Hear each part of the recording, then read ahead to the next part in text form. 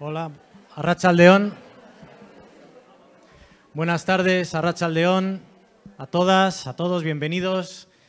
Un año más al Día Mundial de la Esclerosis Múltiple. Digo un año más, parece que lo dejamos ayer. Han pasado dos años desde que nos hemos juntado la última vez de estos eventos que hemos estado haciendo virtuales, pero otra vez estamos aquí este año. Quería dar las gracias especialmente a la consejera Gochones Sagardo, consejera de Salud, y a Marian Ibarrondo, la directora de Investigación e Innovación de Gobierno Vasco, que nos están acompañando esta tarde. Es que ricasco por estar con nosotros en el Día Mundial.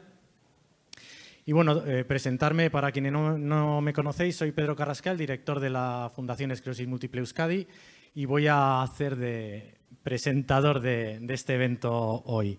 Bueno, os decía que es un día muy especial, es el Día Mundial, nos solemos juntar para aprender, para compartir, para conocer. Ha habido dos talleres hace un momentito eh, sobre ensayos clínicos y también sobre gestión de la enfermedad. Creo que quienes habéis estado han funcionado muy bien.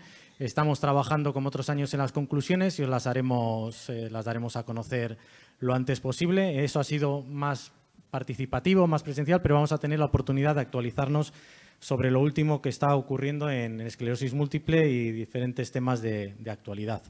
Para eso vamos a empezar la jornada con la doctora Luisa María Villar, que la tenemos en la pantalla. Ella ahora nos, nos, cuenta un poco más. Iba a estar hoy con nosotros aquí, pero ha habido un problema de última hora.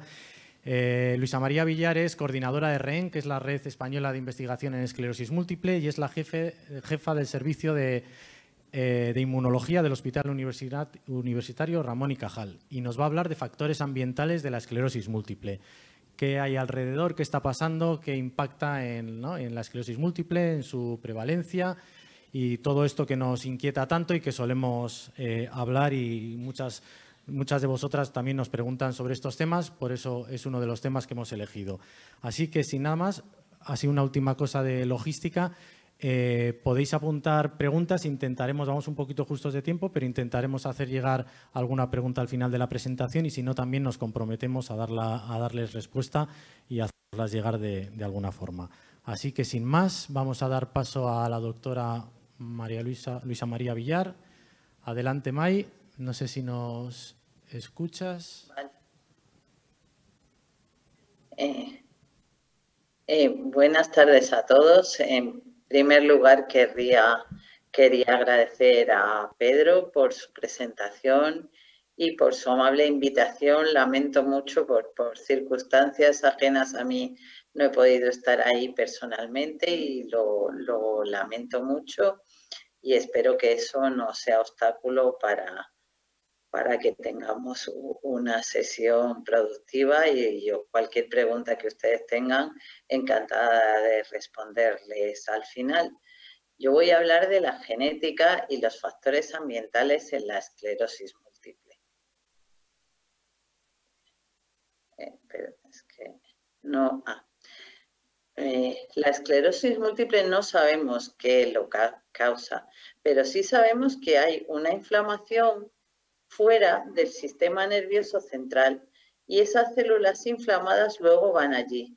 ¿Y por qué pasa esto? Pues hay una predisposición genética. La esclerosis múltiple, como ustedes saben, no se hereda, pero se hereda el riesgo a padecerla.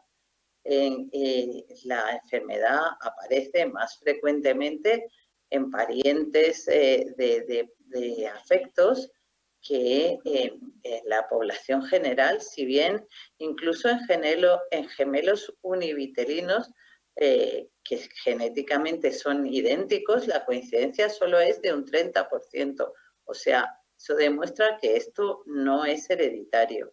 Pero también hay factores ambientales que coadyuvan y de esos factores ambientales estamos aprendiendo mucho en los últimos años y pueden eh, modificar claramente el curso de la enfermedad. Y también tiene que haber un fallo en los mecanismos reguladores.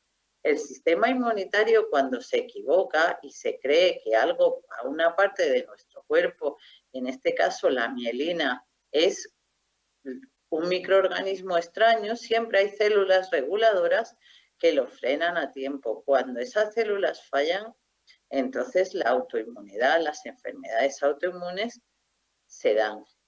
¿Y cuáles son los factores genéticos que sabemos? Se han hecho muchísimos estudios genéticos con miles de pacientes y se ha visto que no hay un solo gen que dé cuenta de la susceptibilidad a padecer eh, esclerosis múltiple, sino que se asocia con muchos genes que cada uno contribuyen modestamente al riesgo de, padecer esclerosis múltiple.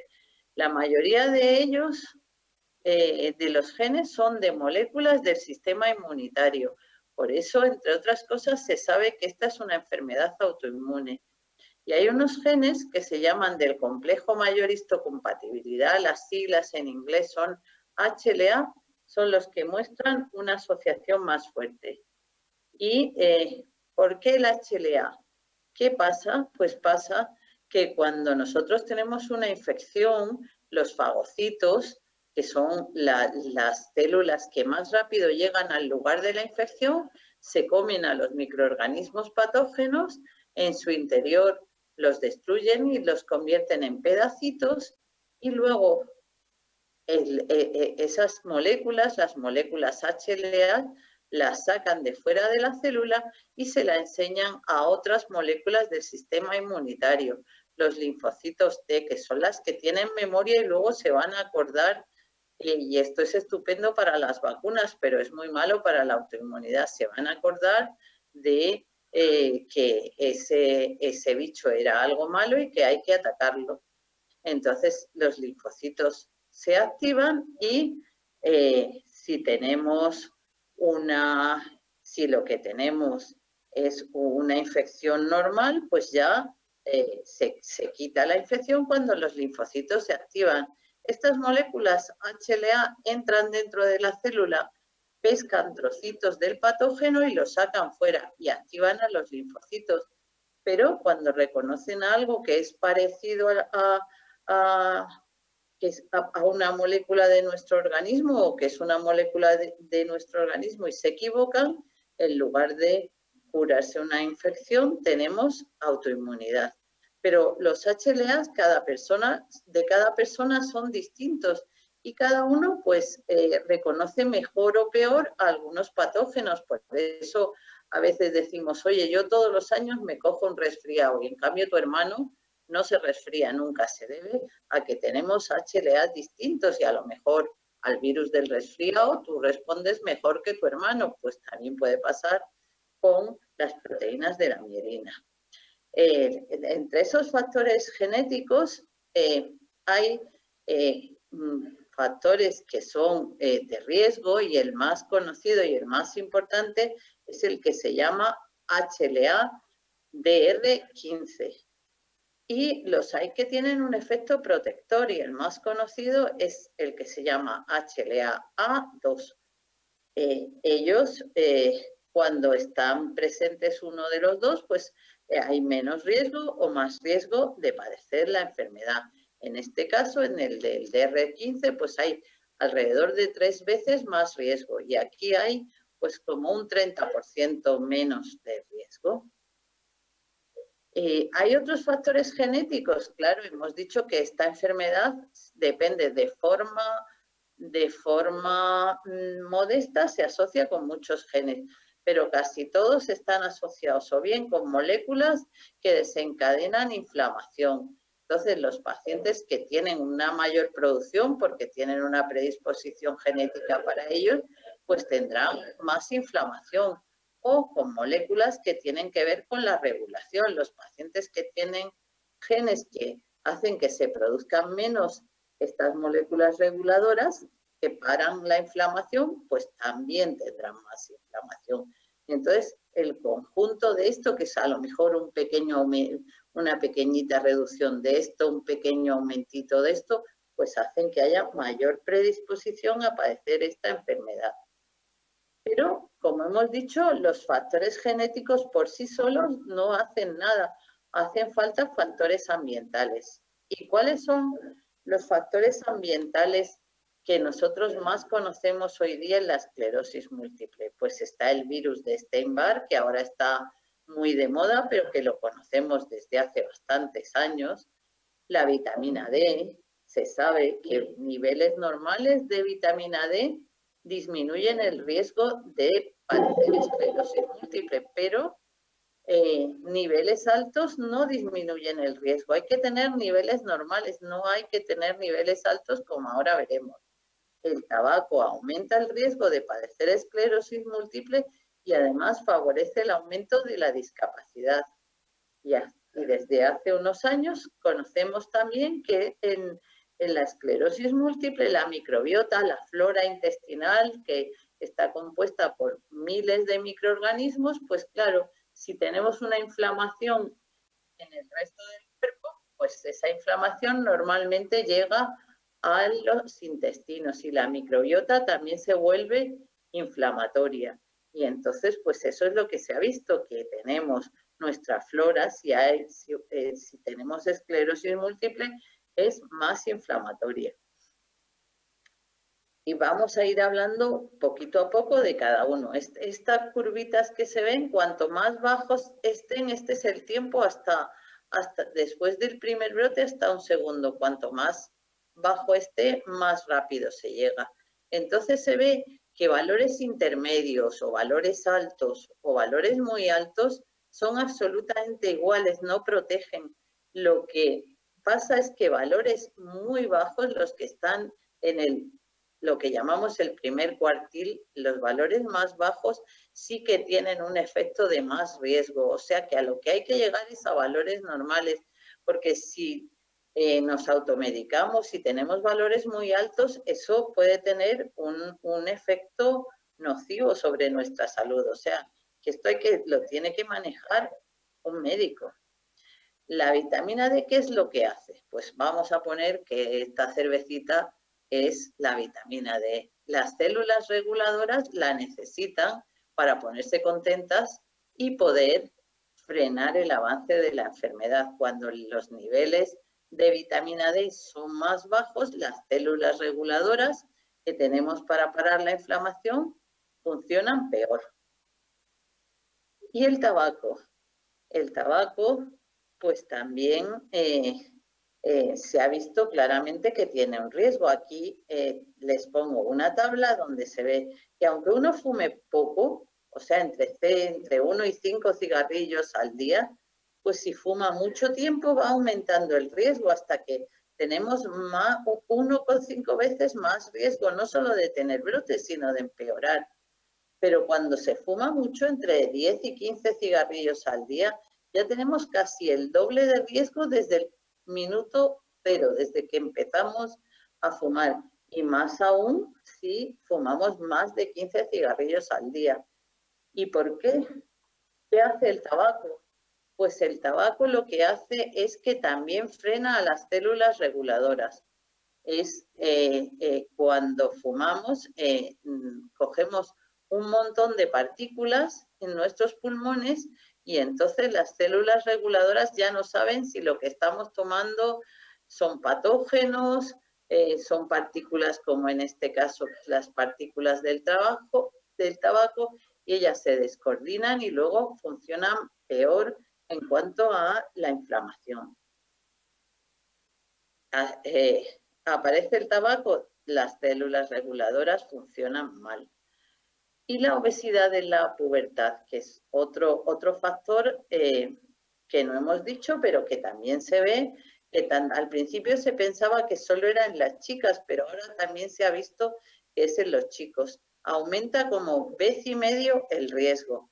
¿Y por qué lo hace? Pues porque ya se ha visto que la obesidad en la pubertad, todas las células buenas, todas las células reguladoras bajan y todas las células inflamatorias suben. Y eso eh, es porque crea inflamación. La obesidad se ha visto que crea inflamación como si fuera una enfermedad inflamatoria, la crea en el intestino y la microbiota que hay allí, la flora intestinal, se vuelve inflamatoria. ¿Y qué pasa? Que empieza a secretar sustancias que pasan a la sangre y aumentan la inflamación que ya de por sí tiene la enfermedad. Por tanto, y cuando ya esa microbiota se ha creado, cuando llega la enfermedad se encuentra ya un entorno inflamatorio, se encuentra como un caldo de cultivo adecuado para ella casi sin células reguladoras y con muchas células inflamatorias. ¿Y, qué pasa con la microbiota intestinal? Ya sin, sin, no hace falta tener obesidad ni nada. En la esclerosis múltiple, cuando se ve, se ve eh, estos, estas rayitas, cada una de estas rayitas es un género eh, de, de, los que constituyen la microbiota intestinal. Pues se ve que en la esclerosis múltiple esto está desbalanceado con respecto, si miran las tres últimas filas, que son personas sanas, paciente con esclerosis múltiple sin tratamiento o con tratamiento. Ven ustedes que sin tratamiento estas bacterias que se llaman Akkermansia y son proinflamatorias aumentan muchísimo, pero cuando un paciente responde a su tratamiento ya vuelven a disminuir y, vuelven a estar eh, normales. Hay otras muchas, por ejemplo, mm, estas que eh, prácticamente desaparecen en los pacientes sin tratamiento y vuelven a aumentar con el tratamiento. O esta que al revés aumenta, eh, que se llama metanobrevibacter. Vaya nombrecito, pues esta también aumenta en los pacientes sin tratar y vuelve a disminuir en después de que el tratamiento funciona. O sea que el tratamiento cuando da resultado, entre otras cosas, lo hace porque eh, no solo arregla nuestro sistema nervioso central, arregla muchas otras cosas en nuestro cuerpo, incluyendo la microbiota. ¿Cómo podemos ayudarle? Pues llevando una dieta sana y equilibrada, sin hacer cosas raras. Eh, eh, la, dieta que nosotros conocemos como mediterránea o la dieta atlántica, que también es muy sana, con mucho pescado, con mucha proteína de la buena, eh, con verduritas ricas. Eso ayuda, ayuda a nuestro tratamiento a mejorar la microbiota intestinal y a bajar la inflamación. Y esto, ¿cómo se vio que era tan importante la microbiota? Bueno, pues hemos dicho que solo hay en, en la esclerosis múltiple, si uno es hijo de, un, si uno de, tus padres es afecto y, hay, y, tienen dos hijos gemelos univitelinos igualitos, pues el riesgo de que lo tengan o eh, cuando lo ha tenido el primero, el segundo gemelo, solo es de un 30%. Pues bien, en un estudio se cogieron heces, o sea, caca, de gemelos afectos y de gemelos sanos, del mismo hermano sano. Se, y se vio, eh, hay una especie de ratón que puede hacer una enfermedad de forma espontánea parecida a la esclerosis múltiple. Pues bien, cuando se hizo un trasplante de heces de los gemelos afectos, eh, fue eh, se desarrolló esa enfermedad espontánea de forma mucho más rápida cuando se hizo con los gemelos no afectos, queriendo decir que el tener una microbiota posiblemente antiinflamatoria puede ayudar mucho al gemelo no afecto a no desarrollar la enfermedad porque de alguna manera está frenando la inflamación. Eh, y ahora vamos a hablar del virus de Steinbach, que es eh, el factor el, factor ambiental que está ahora mismo de moda en la esclerosis múltiple. ¿Y por qué está de moda? Porque hace unos meses se eh, publicó un estudio donde se decía que se había mirado en 10 millones de personas el Steinbar. Bueno, se, entre, de, entre 10 millones de personas el estudio se hizo en realidad en 2.337, 800 pacientes con esclerosis múltiple y alrededor de, de 1.600 individuos sanos. ¿Y cómo era, cómo era ese estudio? Pues lo que hicieron fue ver en, en esas personas, eran, eran chicos que habían hecho el servicio militar en Estados Unidos esto mm, ya tiene un sesgo porque la esclerosis múltiple, como ustedes saben, se da más en mujeres, pero estos eran prácticamente todo varones. Y también había algunos otros sesgos como la edad, eran en general personas muy jóvenes, la esclerosis múltiple también empieza en personas jóvenes, pero bueno. Entonces, ¿qué hicieron? Hicieron, eh, primero vieron cuánto tiempo, eh, cuántas de estas personas eh, habían hecho esclerosis múltiple. encontraron 800. Bueno, pues de esos 800, ellos tenían, habían hecho un análisis de sangre en el momento del inicio de la enfermedad, pero también cinco años antes y también diez años antes y, tenían un grupo de, como he dicho, alrededor de 1.600 mm, individuos sanos a los que les habían hecho los mismos análisis. ¿Y qué vieron? Vieron que al principio del estudio eh, el 95% de las esclerosis múltiples eh, tenían anticuerpos para el, virus de Steinbach y 10 años después casi el 100%, el 99,8%. ¿Y qué pasaba en los sanos? Pues que al principio del estudio 93% tenían anticuerpos frente al virus de Steinbar y al final 97%, o sea, la diferencia era alrededor de un 2,8%, no era una gran diferencia, pero bueno, había más eh, eh, eh, prácticamente todos los que hicieron esclerosis múltiple habían, ah, habían sido antes positivos para el virus de Steinbar. ¿Y qué si el virus de Steinbar causara la esclerosis múltiple, una vez que se tiene la infección, ya tendría que empezar a producir daño. Entonces estudiaron las muestras de, los pacientes a, 10 años antes de empezar con la esclerosis múltiple, cuando todavía eran negativos para el virus de Steinbach, cinco años antes del desarrollo de la esclerosis múltiple, cuando ya eran positivos para el virus de Steinbach, eh, pero todavía no tenían esclerosis múltiple y en el momento de la esclerosis múltiple. Hicieron lo mismo en los sanos, 10 años, 5 años, pero lo que pasa que estos no tenían esclerosis múltiple y entonces usaron un biomarcador que está muy de moda porque nos permite ver en la sangre el daño que hay en la esclerosis múltiple, se llaman neurofilamentos y se liberan a la sangre cuando hay daño en los axones, cuando eh, las fibras nerviosas, cuando la mielina se rompe y las fibras nerviosas sufren un daño. Pues bien, se vio que 10 años antes los niveles de neurofilamentos eran iguales en los pacientes de los que iban a ser pacientes de esclerosis múltiple o en los sanos.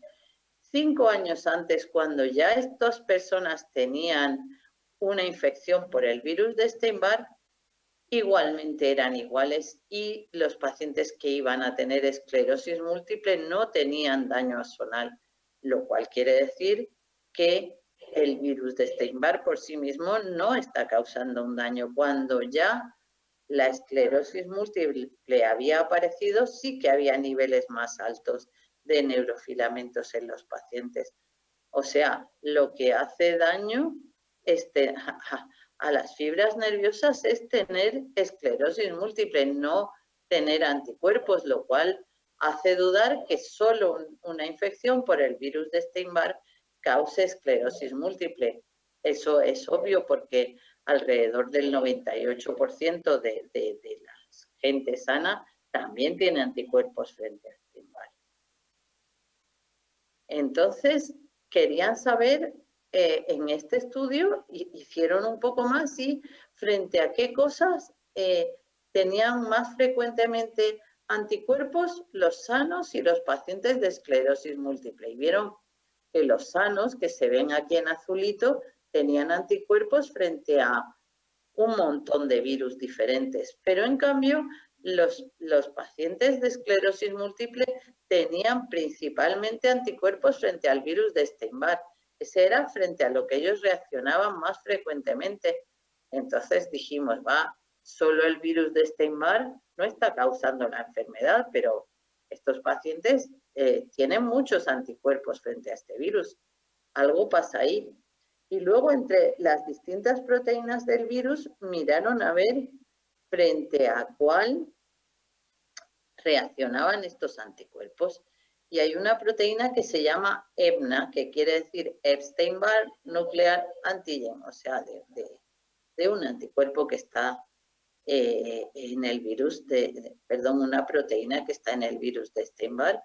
Eh, hicieron dos estudios independientes y siempre era esa, se llama EBNA 1. O sea, vieron que la mayoría de los pacientes con esclerosis múltiple tenían tenían anticuerpos frente a ERNA1, o sea, que parece ser, o podríamos pensar que esos anticuerpos a lo mejor están jugando un papel en la enfermedad. Entonces, ¿esto es nuevo? No. Eh, ya se había visto el mismo grupo en 2010 eh, y con las mismas personas que también eran chicos americanos que habían hecho em, el servicio militar, en vez de partir de 10 millones, partieron de 8, en vez de tener 800 y 1600, tenían 300 y 600, pero les salía lo mismo prácticamente. Al principio del estudio, los que iban a tener esclerosis múltiple, el 96 tenían anticuerpos. Frente a Steinbar, el 96,7%, y 10 años después el 100% y los sanos casi el 95% y 10 años después el 97%. O sea, no todos los sanos terminan siendo, o sea, en la población sana, solo el 97% eh, tiene estos anticuerpos, mientras que prácticamente el 100% de los pacientes eh, eh, lo tenían. Bueno, ¿y qué es lo que hacen estos anticuerpos? Eh, y, vale, tenemos anticuerpos, pero tenemos el virus, deberíamos quitarnos el virus. A raíz de estos hallazgos que acabo de relatar hace alrededor de 10 años, se creó muchísimo interés para saber si en la esclerosis múltiple lo que hay es anticuerpos frente al virus que se han generado hace años cuando hubo la infección o si lo que hay son virus entonces había un grupo muy prestigioso eh, liderado por una investigadora italiana que se llamaba Francesca Loisis, que ella decía que sí, que había infección en el cerebro de los pacientes. Y había otro grupo igualmente prestigioso, eh, eh, liderado sobre todo por, por investigadores austriacos, que decían que no, que para nada, que ellos no habían visto nada y también investigadores ingleses. Entonces esto parecía tan importante porque si esto es una infección, pues vamos a intentar curar la infección y a ver si esto se cura. Eh, entonces se hizo un, un, congreso especial para, ah, mm, para dilucidar esto. ¿Hay infección en el cerebro? O no hay infección en el cerebro. Y esto se hizo en un lugar muy prestigioso que es eh, la, Universidad de, Viena, donde, donde un profesor de patología, Hans Lassmann, tiene altísima experiencia en, en trabajar en la esclerosis múltiple. Pues bien, eh, los resultados de este grupo de expertos, hubo un grupo de expertos que estuvieron estudiando todos los resultados de los dos grupos de forma muy minuciosa y llegaron a la conclusión de que no se confirmaba que hubiera una infección por este virus en el cerebro de los pacientes. No está el virus, lo que están son los anticuerpos. Es como cuando nos vacunan, por ejemplo, eh, pues del COVID.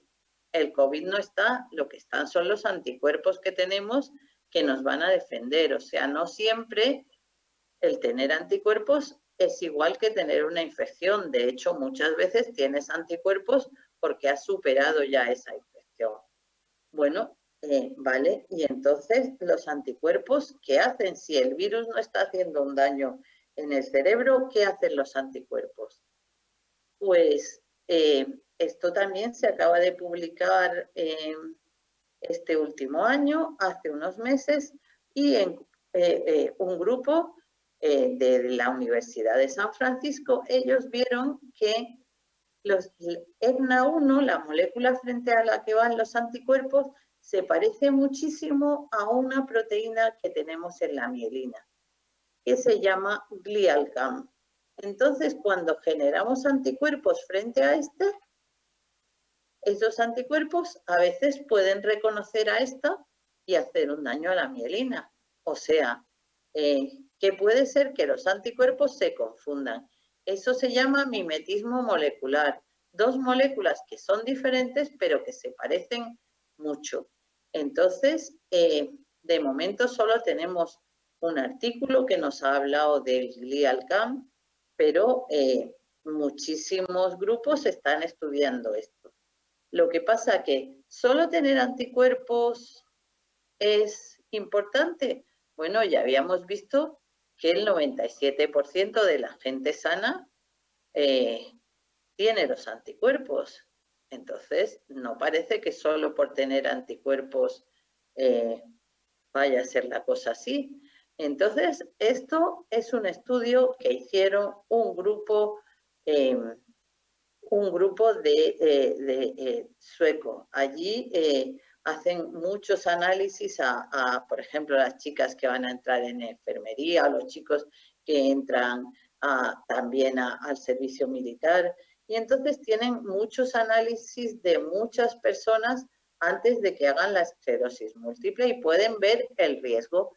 Por ejemplo, se ve aquí, si tú tienes el HLA bueno, bueno, el te falta el malo y además tienes el protector, pues si casi es igual tener anticuerpos bajos, anticuerpos medianos, anticuerpos altos o anticuerpos altísimos, que el riesgo aumenta un poquito. Pero si tú ya tienes, eh, por ejemplo, pierdes el HLA protector, no tienes el malo, pero pierdes el protector. Uy, pues ya el riesgo aumenta. Y si ya tienes muchos anticuerpos, pues ya el riesgo se hace más alto. ¿Por qué? Porque el HLA era el que activaba a los linfocitos T, como hemos visto. Y si ya, además de, eh, de no tener el bueno, y además tú tienes el bueno, pero también tienes el malo, oh, pues esto es peor porque tener el malo era tres veces más riesgo. Y si además de, no tienes el bueno, pero tienes el malo, entonces sí que es verdad. ¿Por qué?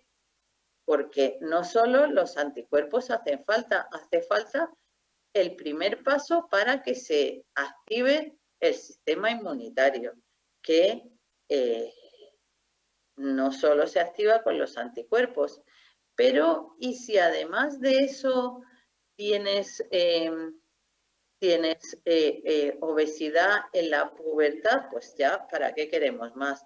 Si tenemos además de de los, si, todo, si tenemos el HLA bueno, todo eh, el riesgo es muy pequeñito y uno tiene que tener, además de anticuerpos muy altos, lo que es un índice de masa corporal mayor de 25, o sea, haber pasado en la pubertad un periodo de obesidad. Si tienes el HLA malo y además has tenido, tienes los anticuerpos muy altos y además eh, tienes, eh, has tenido obesidad en la pubertad, entonces es cuando de verdad el riesgo aumenta. O sea que el Steinbar eh, posiblemente, y todos estos datos, nos da un riesgo porque son anticuerpos que van a reconocer algo en la mielina. Pero además de eso necesitamos inflamación y posiblemente tener el HLA malo que desencadena una respuesta inmunitaria que no queremos. Esto es lo que estamos estudiando ahora y es muy interesante porque muchas de estas cosas se pueden, eh, eh, uno tiene el HLA que tiene, pero eh, la inflamación, que es lo más importante, pues sí que podemos contribuir a pararla y seguramente a parar el efecto del virus de, de Steinbar. Y bueno, eso era lo que quería decirles, les quería ir como conclusiones, les quería decir que la esclerosis múltiple es una enfermedad donde nuestro sistema inmunitario ataca a la mielina y que hay distintos factores genéticos y ambientales que contribuyen al desarrollo, al desarrollo de la enfermedad. Junto con los tratamientos, estos factores, si los ponemos a nuestro lado, van a coadyuvar a frenar la enfermedad.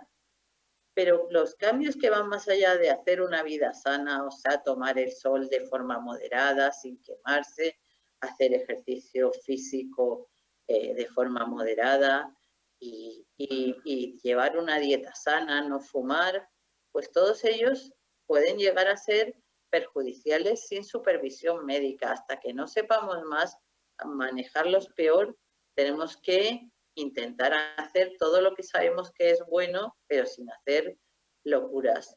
Y eh, bueno, espero haberles aclarado un poquito las últimas novedades sobre factores genéticos y ambientales en la esclerosis múltiple y muchas gracias por su atención.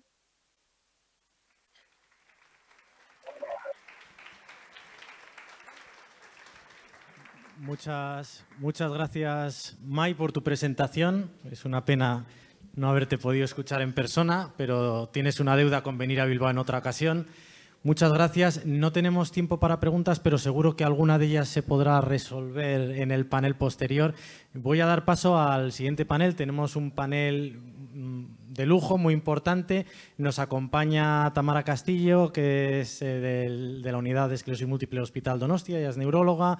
Eh, José Luis Sánchez Menollo del Hospital de Galdácano, neurólogo de esclerosis múltiple, y el doctor Alfredo Rodríguez de Antigüedad, jefe de servicio de eh, neurología del Hospital de Cruces, que van a subir al escenario en un momentito junto con Azul Tejerina, que es periodista de Cadena Ser y una gran profesional de la comunicación que va a poder sacar lo mejor de la actualidad de la esclerosis múltiple y que vamos a devorar con mucha atención. Así que, por favor, Azul y el resto del panel. Pues vamos arriba. Gracias, buenas tardes. Arracha el León. Sí. Me voy a separar un poquito. La verdad es que he venido a aprender, como todos ustedes. Estoy encantada, muy agradecida a la Fundación Esclerosis Múltiple que nos invite y sobre todo mm, muchas veces y por cuestiones laborales nos toca contar a la sociedad argumentos complejos, diferentes y que ustedes en su día a día, en sus domicilios, en sus casas, se convierten en enfermeros, enfermeras, médicos, doctoras, expertos de la noche a la mañana o con un poquito más de tiempo. Yo hoy he venido a aprender, también he venido a preguntar qué es lo único que sé hacer. La verdad es que es uno de los eh, cualidades de, de, ser periodista, rodearse de la gente que sabe para que puedan responder. Yo agradezco muchísimo que estén con nosotros tres eminencias, tres personas que seguramente ustedes les conocen. En su día a día igual pasan por sus consultas o les hacen sus llamadas. Y mm, preparando estas jornadas con la Fundación y después de escuchar, por supuesto, a Luisa María Villar, que de verdad que es una eminencia y ha sido un gusto poder escucharla, el equipo de Pedro Carrascal me decía, Azul, tenemos que hablar, por supuesto, del impacto de la microbiota en la esclerosis múltiple. Yo me puse a, mirar un poquito, ellos me ayudaron un poco a entenderlo, pero claro, después de escuchar esta charla, empiezo por mi izquierda, Alfredo, la microbiota ha pasado a ser algo fundamental que hasta ahora no era o hasta qué punto este segundo cerebro, este, el intestino es importante para todas estas familias que son las que nos escuchan? Bueno, la microbiota probablemente sea muy importante para esta enfermedad y para otras. Por ejemplo, se vincula también con la enfermedad de Parkinson, por ejemplo, en su origen. Lo que es cierto es que el intestino es muy grande, que el intestino es un órgano linfoide el más grande que tenemos, que el intestino tiene una red de neuronas brutal, tiene muchísimas neuronas y que la cantidad de, gérmenes que tenemos en el intestino es enorme. Y ahora se empieza a aprender qué gérmenes tenemos, no es tan fácil identificarlos. Hay, varía, son diferentes los que están al principio del tracto digestivo que los que están al final, los que están más pegados a la pared que los que están más alejados. Y en ese avance es lo que se está, se está trabajando ahora para identificarlos. Pero seguro que influye. Hay enfermedades que guardan una relación directa con una, una disbiosis de la microbiota, enfermedades inflamatorias intestinales, por ejemplo, tiene muchísimo futuro porque es un órgano inmunológico que se altera, pero todavía no se ha aprendido lo suficiente. O sea, hay que, hay que avanzar en ello, pero seguro que tiene muchísimo interés, un órgano enorme neurológico, endocrino y con una cantidad de gérmenes que seguro que producen muchas cosas. Y doctora Castillo, sin generar falsas esperanzas, que para eso estamos aquí, hay que pedirles tiempo con todos estos nuevos avances, hablando de la microbiota. Cuando se abre una puerta hacia la investigación, los medios de comunicación tendemos a titular. Eh, hay que reducirlo, hay que contarlo en pocas palabras y luego se producen esas llamadas a la precaución. En este aspecto, ¿usted qué le parece? A ver, el problema es que la investigación siempre va mucho más lenta de lo que nos gustaría. Entonces sí que es verdad que empezamos a tener evidencias de que hay cambios en la microbiota, que la microbiota de los pacientes con la enfermedad no es la misma que los controles sanos, pero todavía nos queda mucho por hacer. Eh, se ha puesto de moda y ha salido en prensa que si hay que hacer trasplante de heces, que si hay que hacer eh, tomar probióticos, prebióticos y demás. No tenemos todavía evidencia científica para hacer recomendaciones de estas y esto sí que se está investigando ahora, pero nos llevará todavía un poco de tiempo. ¿Qué le parece, doctor Menoyo? Pues un poquito lo mismo, ¿no? Que son cosas que probablemente en unos años tengan un, efecto sobre los pacientes, pero a día de hoy es algo que está investigándose. Es decir, los pacientes no tienen que, hemos dicho, ni hacer cambios de dietas, ni hacer, tienen que hacer una dieta equilibrada, sana y en unos años probablemente tenga consecuencias positivas. ¿Por qué se habla tanto de la vitamina D? Es algo que me ha llamado la atención también. Eh, sí, por supuesto, cualquiera de ustedes. Yo, un comentario antes de la microbiota. Sí, seguimos.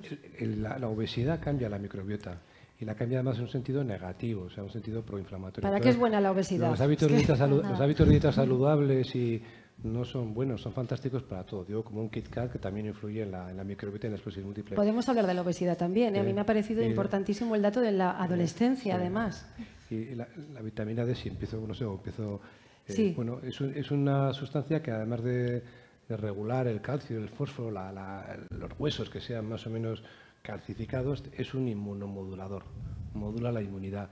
Y ahí está el kit de la cuestión, que no tiene ese efecto que mecanismo que todos pensábamos muy obvio del calcio en, los huesos, sino que además también tiene un efecto en la inmunidad. Y a partir de ahí pues, surge todas las teorías de tratar o no tratar, pero lo ha dicho muy bien May Villar, eh, la vitamina D maldada en exceso es perjudicial tiene problemas y no hay que tener, como todo en esta vida, estar equilibrado y tener unos niveles normales. Doctora, tiene usted que, sostenerlo mucho en las consultas, ¿no? Tranquilos, no tanta vitamina D o, los pacientes, las familias son yo muy, creo que, muy justas en esto. Yo creo que en general la gente sí que sigue las recomendaciones que hacemos en la consulta y toma las cantidades que, que tiene que tomar y solemos hacer controles analíticos periódicos y demás para tener los niveles adecuados. O sea que yo creo que en ese sentido poco problema. Sí que hay algún paciente igual que puede tomar a su aire ¿no? vitamina D de herboristería sin saber muy bien qué concentraciones lleva y demás, pero bueno, no es lo más frecuente. Bueno, eh, abordamos el asunto de la obesidad. ¿Es algo que les preocupe? Y sobre todo hablando de la relacionado con la esclerosis múltiple, termino yo. Sí, yo creo que dentro de los consejos que solemos dar a los pacientes cuando les diagnosticamos uno de ellos es evitar un poquito el sobrepeso. Lo mismo que hemos comentado en el resto de cosas sin obsesionarse, pero evitar un poco coger mucho peso en los chavales jóvenes si están en, un índice de masa corporal muy elevado, animarles a perder peso, pero todo ello un poco pues con sentido común. Tampoco hay que empezar a hacer dietas, perder peso de forma pues, exagerada, pero es evidente, porque eso está completamente demostrado, que, que la obesidad ensombrece un poco el pronóstico de la enfermedad, hace que sea más probable que la enfermedad evolucione peor. Ensombrece el pronóstico de la enfermedad. Yo no tengo por qué estar constantemente abordándoles. Si ustedes quieren generar también ese tipo de mensajes, porque claro, lo siguiente que debiéramos comentar, después habrá un momento para el que podamos preguntar, que pregunten ustedes, ¿eh? pero si de qué factores, igual estamos ya entrando en ello, depende más la progresión de la esclerosis múltiple. Aparece esa palabra horrorosa, brotes, ¿no? ¿De qué factores depende más? Ya los estamos tocando, supongo.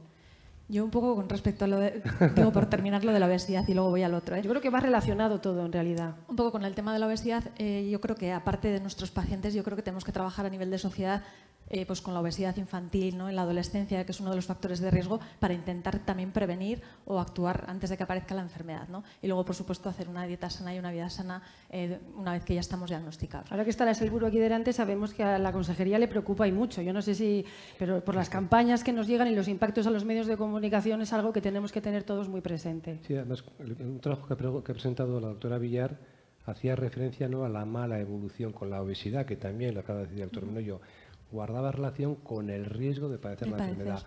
Los adolescentes americanos obesos tienen una mayor incidencia de esta enfermedad que aquellos que no lo son. O sea, que condiciona el riesgo de tener esta enfermedad, lo incrementa, les pone a esos adolescentes en riesgo y además luego cuando ya tienes la enfermedad te condiciona un peor pronóstico. Los hábitos de vida saludable no son buenos, son fantásticos. Son fantásticos y vuelve a salir la dieta mediterránea, que es que no sé para, para nada es mala, es pero buena en cualquier charla, en cualquier situación, dieta mediterránea, que no sé si les parece y abordo también esta cuestión. Si, si mm, seguimos pegados a la dieta mediterránea, es una pregunta muy obvia, pero no sé si lo ven ustedes. Nos estamos separando. ¿Cómo lo ven? ¿Tienen que recomendar la dieta mediterránea constantemente? A ver, Menoyo. Hombre, pues hay que, recordar un poco la dieta mediterránea. Es verdad que los cambios en el estilo de vida pues nos están llevando a un uso mucho más extensivo de productos mm, industriales, eh, ultraprocesados y, y, nos estamos alejando en general la sociedad eh, de una dieta pues eso, un poco más equilibrada, más sana, más variada y sí que hay que un poco recordarlo. Tenemos que hacer ese, ese esfuerzo un poco didáctico y yo creo que en general la gente, sobre todo los pacientes, creo que en general la mayoría de ellos se cuidan y se cuidan sí, mucho. mirar a las cocinas de las amamas, de los haitites, tampoco les tenemos tan lejos, ¿no? Esa y, y además en una sociedad en la que tenemos todo cerca, quiero decir, los domicilios. No tenemos que recorrer horas y horas para volver a casa, ¿no? Alfredo. No ha cambiado la dieta. Yo pienso en qué me da de comer mi ama y no se parece en nada a lo que comen mis hijos, claro. ¿Ah, sí? ¿Hay tanta distancia? Vaya. Me ponía garbanzos que no me gustaban en aquella época, que ahora me encantan, los comía por narices, o sea... Pues hay que volver a los garbanzos. Entonces creo que cuando dicen que es la dieta mediterránea, la que me daba mi madre, o sea que... Y, y ahora, la hecho, ahora, la hecho, de menos, ¿eh? O sea que... Hay que volver que no puedo, a ¿eh? Bueno, vamos con lo de, de qué depende más la progresión de la esclerosis múltiple. Doctora.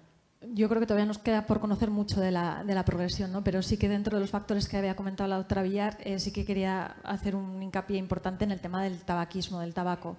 Sabemos que el tabaco es un factor de mal pronóstico, que los pacientes fumadores eh, pues, pues van peor que los pacientes que no fuman. Y eso sí es algo corregible. No podemos corregir nuestros genes, no podemos corregir otras cosas, pero eso sí lo podemos evitar. El tabaco, Dos de dos, porque la Seilburu también recientemente, el Día Mundial del Tabaco, es que justo estamos en la víspera del Día contra el Tabaco en general. José Luis, ¿qué más? Bueno, conocemos, hay una serie de factores que pueden hacer que la enfermedad evolucione peor. Son cosas a veces en las que no podemos influir. Por ejemplo, eh, la edad de comienzo. Cuando la enfermedad em, empieza a edades avanzadas, suele evolucionar de una forma peor que cuando comienza a edades tempranas. También, aunque la enfermedad es más frecuente en mujeres, en los hombres suele tener una peor evolución. En los hombres peor evolución. Eh, y luego, pues un poco eh, la rapidez en la que aparece el segundo brote después del primero, si de un primer brote te has recuperado por completo o no. Todo ello, pues a los médicos, a los neurólogos, nos puede ayudar a ver si esa persona tiene más probabilidades de evolucionar peor o mejor, pero siempre vamos a hablar de, de probabilidades porque luego cada paciente es, es, individual. Aquí sí que es verdad, ¿no? Que cada paciente sí. sí. que es un mundo. Alfredo, ¿algo más respecto no, a esto? Hay, una, hay un gran misterio en esta enfermedad que una puerta que se, se, está abriendo ahora, que es la relación que hay entre la inflamación, tal y como nos lo ha explicado la doctora Villar, y el empeoramiento que algunos pacientes tienen, que es un componente más neurodegenerativo, que se parece más a una enfermedad clásica neurodegenerativo. Y esa vinculación entre inflamación, entre comillas, convencional y neurodegeneración es una puerta que se está ahora investigando en ella. Hay otras células también de la inmunidad que están dentro del cerebro que guardan relación con ese, deterioro paulatino en esta enfermedad y en otras, como el Alzheimer. Una enfermedad de Alzheimer, si tiene muchas infecciones, tiene una evolución más rápida. Y eso ofrece unas esperanzas muy importantes de comprender qué es lo que pasa y poder y poder abordarlo. Ya poner una chispita que aquí en Euskadi tenemos una, una, un instituto de investigación sobre las células de la glía, que son las que que es fantástico y de referencia. Y lo dice mirando hacia abajo. Un aplauso, porque tenemos los investigadores y los tenemos no, además aquí. Eh, está, están, los, están, en, están en Vizcaya, están en la Chucarro y son gente con una proyección y que están abordando justamente un tema que es de altísimo interés para muchísimas enfermedades neurodegenerativas, incluyendo la esclerosis múltiple que tiene un componente neurodegenerativo. Eh, mirando un poco la estadística, y siempre con el equipo de Pedro Carrascal, nos decían 2.500 personas ahora mismo diagnosticadas. Claro, yo tenía aquí apuntado algo que he estado estudiando, a ustedes les sonará muchísimo, no sé el entorno, el gen ATG7, posible clave para evitar la progresión en esclerosis múltiple. Los suecos, estos grandes titulares que va una buscando y dice, por favor, una solución, algo positivo. ¿Es posible prever la progresión de la esclerosis múltiple? Y todos estos informes que nos van sucediendo, ya veo que dice Alfredo que no con la cabeza, pero yo, yo lo saco por si acaso aquí la gente también lo, le suena. Yo si tuviera un familiar lo miraría. ¿Qué se puede decir de prever la progresión de la esclerosis múltiple a fecha de hoy? Doctora, cualquiera. A ver, yo creo que hay que coger los estudios también, o sea, se publican un montón de cosas y hay que mirarlos luego con lupa y demás. A día de hoy no entendemos bien todavía por qué se produce la progresión. Sí que tenemos fármacos a día de hoy que están aprobados y que nos ayudan en la progresión de la discapacidad, no todo lo que nos gustaría a los neurólogos, eh, pero sí que es verdad que tenemos fármacos que nos ayudan en esto pero todavía nos queda mucho por hacer en la, en la progresión. Somos muy buenos entendiendo más la inflamación y demás, pero la parte de neurodegeneración y de la, y de la progresión, ahí vamos un poco más cojos. Doctor Miro, yo. Pues un poquito lo mismo, ¿no? Los tratamientos de los que disponemos son muy eficaces sobre el componente inflamatorio de la enfermedad y son mucho menos eficaces sobre el componente neurodegenerativo. Por eso tenemos que intentar actuar cuando ese componente inflamatorio es muy importante, es decir, en las fases iniciales de la enfermedad al principio, el diagnóstico. Alfredo, qué importante es, ¿no? Que cuando cualquiera tengamos la mínima sensación o intuición, acudir pues, a los expertos de referencia, ponernos en manos de, ustedes, de los neurólogos y neurólogas. Sí, lo acaba de decir el doctor Menoyo, ¿no? El, evitar la inflamación convencional que ha comentado la doctora la doctora Mayvillar, pues condiciona un mejor pronóstico y una, un retraso en la progresión de la enfermedad. De hecho, hay trabajos que con los nuevos medicamentos ya eh, ha cambiado el escenario, donde antes había un 60% de pacientes que desarrollaban una forma progresiva y nada más un 20%. Luego esa relación entre inflamación y neurodegeneración es, muy curiosa, pero está claro que actuar sobre la inflamación tempranamente condiciona un mejor pronóstico en términos de prevenir la, la progresión. Nuevos medicamentos. Venga, vamos hilando ya estos nuevos tratamientos en 2022, como el 1, 2, 3. No sé si esto les está ayudando, si están esperando algo que llegue, si lo que está está bien. Doctora. A ver, yo creo que cuantos más tratamientos tengamos, mejor. Porque al final, eh, lo que decíamos antes, ¿no? cada paciente es muy diferente uno de otro y lo que a uno le va bien, por ejemplo, a otro paciente puede ser que no le vaya bien. Con lo cual, yo creo que cuanto más abanico terapéutico tengamos, muchísimo mejor.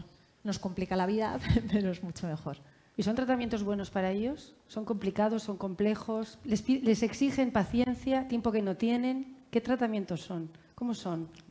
Son todo tratamientos que actúan sobre la inmunidad, frenando un poco ese exceso de actividad inmunológica por diferentes mecanismos. Tenemos ya muchos medicamentos diferentes, con diferentes formas de administración, cada vez más seguros, cada vez más eficaces y sobre todo cada vez hay más pacientes que se pueden beneficiar de esos tratamientos. Cada vez hay menos pacientes a los que les tenemos que decir no tengo nada para ti.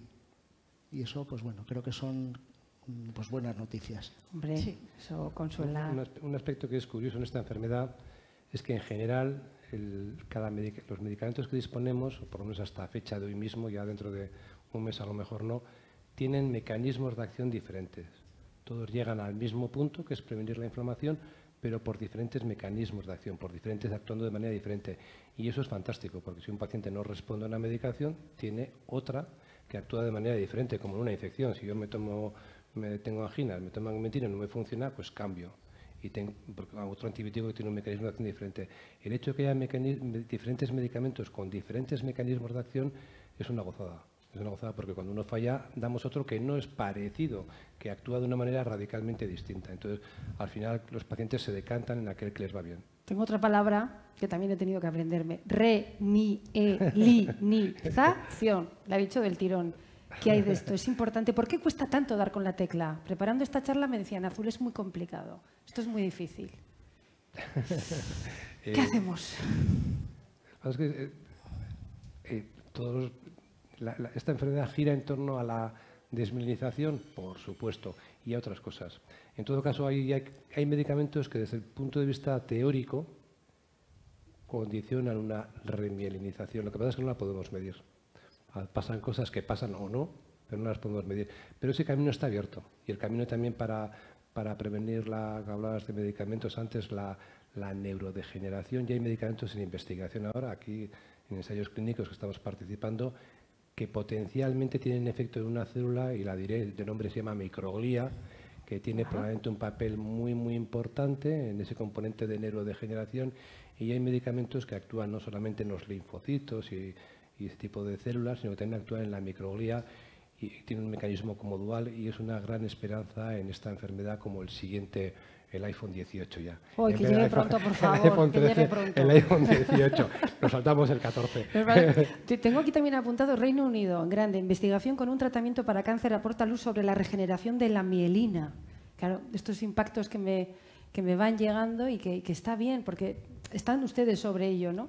Luego también se habla del bexaroteno, tampoco quiero ser muy técnica porque me gustaría también escuchar las preguntas. Si quieren aportar respecto a esto, que es esa tecla mágica que, deberíamos abordar, si no pasamos ya al turno de las preguntas. teclas mágicas en general en ciencia pocas. ¿eh? Son las 18 y 17. A mí me han dicho que lleve la charla hasta y 25, así que no quiero quitar mm, preguntas a los... ¿Te parece? Sí, perfecto, sí, sí. ¿Quién quiere hacer alguna pregunta? Sí, creo que ya hay algún micrófono. Pedro, igual podríamos acercarlos. O Carmele, esta señora que está aquí, y luego ya vamos pasando lo que dé tiempo. Cuanto más breves sean las preguntas, más rápidas las respuestas. Gracias. Buenas tardes. Yo quiero felicitar a la Fundación, soy de Guipúzcoa, de la Asociación de Esclerosis Múltiple de Guipúzcoa, por esta charla y, bueno, una pequeña quejita que no se haga la mañana para que pueda venir más gente que no esté tan cansada, porque no hablamos del cansancio, ese cansancio que nos está hablando. Y luego, como estamos hablando de todas las cosas que se puede hacer uno mismo, pues la, microbiótica, la comida sana, bueno, todas esas cosas que, nos que todos lo sabemos. Yo quisiera lanzar aquí un mensaje a la consejera de Sanidad y ya que la tengo aquí delante, ¿qué pasa con la rehabilitación? Que no se ha hablado nada. ¿Qué pasa con la rehabilitación? Eh, tienen que hacer una rehabilitación, tienen que, pero no pueden hacer una rehabilitación en cualquier sitio. No pueden ir a un, a un fisio normal porque no entran, no pueden, no tienen accesibilidad con grúas, con puertas grandes. Yo eh, siempre llevo muchos años en la asociación y siempre mm, les lanzo a, los políticos, que son los que mandan, los que tienen los dineros, les mando esta pregunta.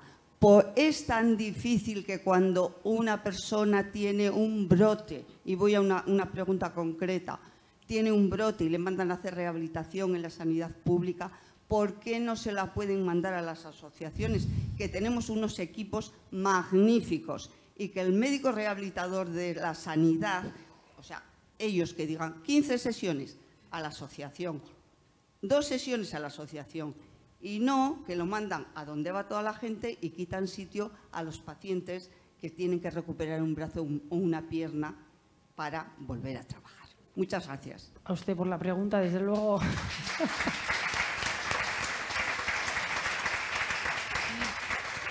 Ha quedado como, pregunta, no sé si alguien quiere contestar, se, competía otra persona, eh, yo no sé, ya luego usted tendrá su momento para, poder, nosotros aquí respuestas no podemos darle a esa pregunta. ¿Más preguntas a los neurólogos, neurólogas? ¿Por aquí?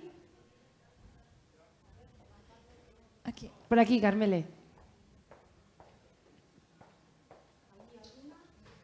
Aquí, aquí, a la esquina, eso es. Hay una pregunta muy concreta. Yo del tema de esclerosis, aparte de que sé mal, no tengo ni idea. Pero si oigo, eh, hay otras enfermedades, pero bueno, no estamos a esclerosis, que el tabaco es muy malo. ¿Y por qué no hacemos nada en, vez de decirme que es malo para cerrar las tabacaleras o lo que sea? claro, Alfredo, tú puedes, tienes ese poder. Eh, a mí no me importaría que la cerrara, me parece que el tabaco es un hábito, vamos, que no aporta nada, pero bueno, tampoco entra en nuestro ámbito de, decisión, pero estaría bien. No... Ni un médico dice fuma para curarte. No encontramos a ninguno. También, claro. A ver, ¿cuántos brazos levantados, Carmele? Qué bien. Hola, buenas tardes. Eh, quería preguntar a los neurólogos con la experiencia. Seguro que están viendo pacientes suyos que llevan tratando muchos años. Quería decir, si nos vieseis entrar a personas que ya tenemos una aceptación muy, muy severa, hoy mismo vuestras consultas como el primer día, ¿cambiaríais algo? ¿Tendríamos un diagnóstico mejor? Eh, si te he entendido bien, Jesús María, es si ya cambiaría la situación de los... Eh, el tratamiento, en mi caso, no sabiendo lo que va a pasar, sino... Es, es complicado, ¿no? la respuesta puede ser una respuesta fácil, pero es complicado. Uno va aprendiendo poco a poco. Probablemente no sería el mismo manejo, no lo es, de hecho. O sea, ahora eh, afrontamos la enfermedad de una forma mucho más, mucho más eh, con menos miedos, por decirlo de alguna manera, a los medicamentos que antes teníamos, porque eran desconocidos, ¿no? Pero tampoco, tampoco es seguro. O sea, no, lo sé. La verdad es que siempre en cada momento intentamos hacer, yo creo que todos, todos los neurólogos que vemos pacientes o con múltiples, con otras enfermedades, siempre lo mejor posible, pero claro, los conocimientos cambian y no podemos, no tenemos la bola de cristal para adelantarnos adentro de, de, de muchos años, ¿no? Pero ha cambiado, sí que las personas que empiezan ahora tienen unas expectativas diferentes. Yo creo que sí que ahora hay medicamentos, como ha dicho el doctor Menoyo, que pueden tener un efecto en la, en la progresión, hay medicamentos que no se puede evaluar, pero pueden provocar la remielinización, hay medicamentos que están ya en la parrilla de salida, en fase de investigación, que pueden actuar sobre esas células raras, que son la microglía, y que puede cambiar el componente neurodegenerativo pero se avanza como se avanza, no se puede, no se puede cambiar. Yo creo que las personas que empiezan ahora tienen un, pronóstico mejor y de hecho ya está, está comprobado, pero no todos. Lamentablemente antes y ahora sigue habiendo pacientes que, que no evolucionan todo lo bien que nos gustaría por mucho que nos empecinamos en ello. ¿eh? Es verdad que, o sea, que se ha cambiado mucho lo que es la enfermedad, el diagnóstico se hace muchísimo mejor ahora que lo que se hacía hace 25 o 30 años y luego eso, opciones terapéuticas que antiguamente no había o era sota caballo rey y no hay más. Y es verdad que ahora las, cosas sí que han cambiado. Entonces el manejo de los pacientes, eh, ¿no? yo siempre me acuerdo, mi jefe de servicio, eh, que tiene ya sus años, veía antiguamente la esclerosis múltiple y les sorprende, ¿no? de antes los pacientes iban todos ¿no? en silla de ruedas en la sala de espera, era todo silla de ruedas y ahora ha cambiado, los pacientes vienen andando a la consulta y demás, o sea que yo creo que es verdad que ha cambiado mucho las cosas en los últimos años, pero en algunos pacientes pues hemos llegado muy tarde. ¿Alguna pregunta más? Si os parece, lo dejamos en esta última pregunta y os invito a que nos dejéis todas las preguntas que se os ocurran anotadas en unas tarjetitas que os dejamos y nos comprometemos a responderos a todas ellas. Hilando lo, lo que acaba de comentar la persona afectada, eh, bueno, hemos, el doctor Antuguedad nos ha estado hablando de ensayos. Yo preguntar, porque también lo he oído en algún afectado, ¿no? que en realidad como se sentía el que esta persona como que era como que todo lo que nos, nos den de medicaciones y se experimente con ello es como que va a ser para un futuro bienvenido sea para la gente que viene, ¿no? Eh, pues la pregunta es, los que ya estamos afectados, unos más que otros, eh, ¿hay esperanza de que los estudios o las medicaciones vayan a servir para nosotros o son más bien para, para la gente que venga, bueno, para los que se diagnostica antes? Yo creo, ha dicho la doctora, como que hay menos gente en silla de ruedas, en consultas. Yo pregunto qué es porque el diagnóstico se hace anterior, porque bueno, por lo que vivo y en las asociaciones, que casi todos, bueno, mucha gente que hemos sido remitentes recidivantes, pues vamos a progresiva secundaria, ¿no? Pero claro, casi todos hemos sido diagnosticados ya con una edad, ¿no? Y bueno, nada más, que es que estoy esperando mucho. Nada, gracias. Terminamos, sí. Hay un comentario nada más. El escenario sí que ha cambiado. Se hizo un trabajo aquí en, Euskadi con, con la corte de pacientes de Vizcaya y el porcentaje de pacientes que tienen una forma secundariamente progresiva ha cambiado de manera radical, es mucho menor. ¿Ha cambiado para todas las personas? No. ¿Hay esperanzas para aquellas que tienen una incapacidad con relación a, medicamentos regeneradores? Sí, pero la investigación, como hemos comentado antes, no es lenta, no es rápida, tarda su tiempo porque tiene que ser segura también, no se pueden asumir riesgos eh, por, por, la ansiedad, ¿no? Pero sí que hay esperanza, yo creo que sí, que no es un, no es un camino que no esté abierto, cuando hablaba de... Un camino que está no abierto, está lanzado, lo que pasa es que no es de un día para otro. Pero sí ha cambiado la realidad, sí, afortunadamente. Y luego, en cuanto a los ensayos clínicos, eh, ha habido ensayos clínicos que se han hecho y gracias a eso se ha aprobado un tratamiento específico para formas secundarias progresivas, que antiguamente no, no había. O sea, quiero decir que yo creo que la, el participar también en ensayos clínicos, yo siempre animo a los, a los pacientes, no solo de, pensando en un futuro, sino también que así se aprueban los tratamientos que usamos en la consulta. ¿Quieres aportar algo efectivamente, Los, los ensayos clínicos de hace 10 años son los medicamentos que tenemos hoy en día. Es decir, el futuro ya está aquí y estamos viendo todo ese trabajo de investigación de los últimos 10-12 años está dando unos frutos espectaculares. No hay ninguna enfermedad neurológica en la que haya habido tantos avances como la esclerosis múltiple. Pues las seis y media, eh, así que doctor Alfredo Rodríguez Antigüedad, doctora Tamara Castillo Triviño y doctor José Luis Sánchez Menoyo, muchísimas gracias por las explicaciones esta tarde. Gracias.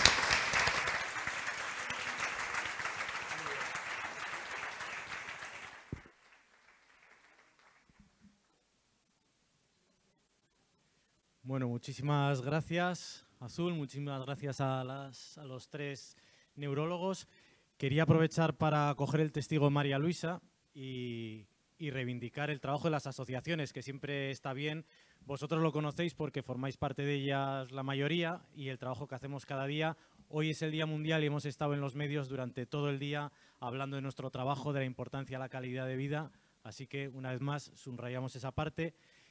Y me quedo también con esta parte final de la presentación que hablábamos de la investigación, del futuro, de lo que supone para... Voy a ceder el micrófono ahora. Os decía que nos acompañaba la consejera de Salud, eh, Gochones Agardui, con nosotros hoy, y también ha venido Andoni Aldecoa, el director general de ITV, que les voy a ceder el escenario porque creo que tienen una importante noticia para la esclerosis múltiple que compartir con nosotros.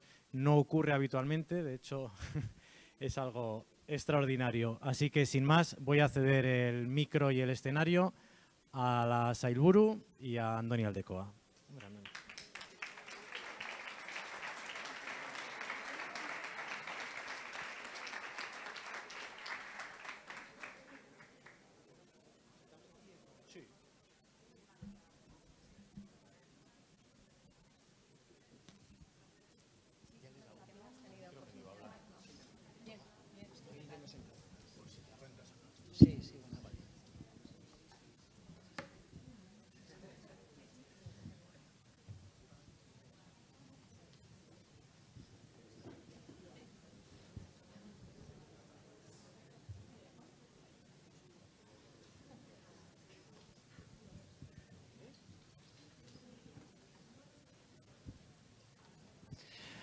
Bueno, Arratsaldeon. Bueno, es eh, gonbidatu didate ona etortzera eta bueno, esateko zer egingo dugun gure urrengo maratoian. E, aurten ospatuko dugu urrengo urrengo abenduaren 16 eta guk etxean e, go, e, gobernuarekin hartu dugu erabakia urrengo e, maratoian esklerosis e, aniskor Tachoren alde egitea a favor de la esclerosis múltiple. Vamos a hacer el próximo ITB Maratoya. Va a ser el 16 de diciembre. Eh, sin duda tiene un valor económico importante. Como sabréis, eh, lo hacemos siempre en torno a Navidades, es poner toda la casa detrás de una causa, el trabajar todos y además eh, de corazón os digo que nuestra gente se vuelca y que lo hace con un amor increíble y uno de los objetivos es el conseguir fondos para la investigación. Con los fondos que conseguimos siempre se consiguen apoyar seis, entre 6 y 10 proyectos, dependiendo un poco de, la envergadura. Lo hacemos de la mano del gobierno, del departamento y lo hacemos eh, eh, para apoyar eh, la investigación. Ya de entrada esa ya yo creo que es una buena noticia pero lo que sí que intentamos es utilizar este motivo y utilizar un poco los medios que tenemos, Radio Euskadi, Radio Vitoria, eh, Euskadi Ratia, IETV y toda nuestra división de Internet, ya no solo para conseguir fondos, sino para divulgar, informar eh, y, sensibilizar sobre, las enfermedades que, tratamos año a año. Este año va a ser eh, a través de la esclerosis múltiple. Os vamos a pedir colaboración a la asociación, a, los médicos, al departamento, para ver si entre todos conseguimos transmitirlo y, hacerlo con, rigor, pero a la vez con cariño y con sensibilidad y que estaremos con todos vosotros durante los próximos meses, hombro con hombro, para llegar a ese 16 de diciembre y sacarlo adelante.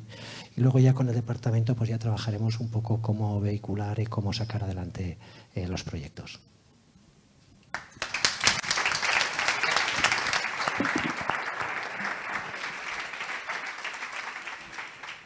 Bueno, nik eh, lehenengo eta behin eskertu nahiko nizueke. Pedro gonbiatu egin hauzuelako gautzuekin hemen egotera. Plazer bat izan da gainera aurretia zentzun izatea, bai ponentzia eman duena, baita ere gure profesionalek gurekin batera elkarrezketan aritu direnak Gracias, de verdad, que para mí está siendo un placer poder compartir este tiempo con vosotros y con vosotras, luego con auténtica voluntad de aprender, además, y de conocer más de vuestra propia boca, eh, reivindicaciones, aspectos de mejora que podemos tener. ¿no?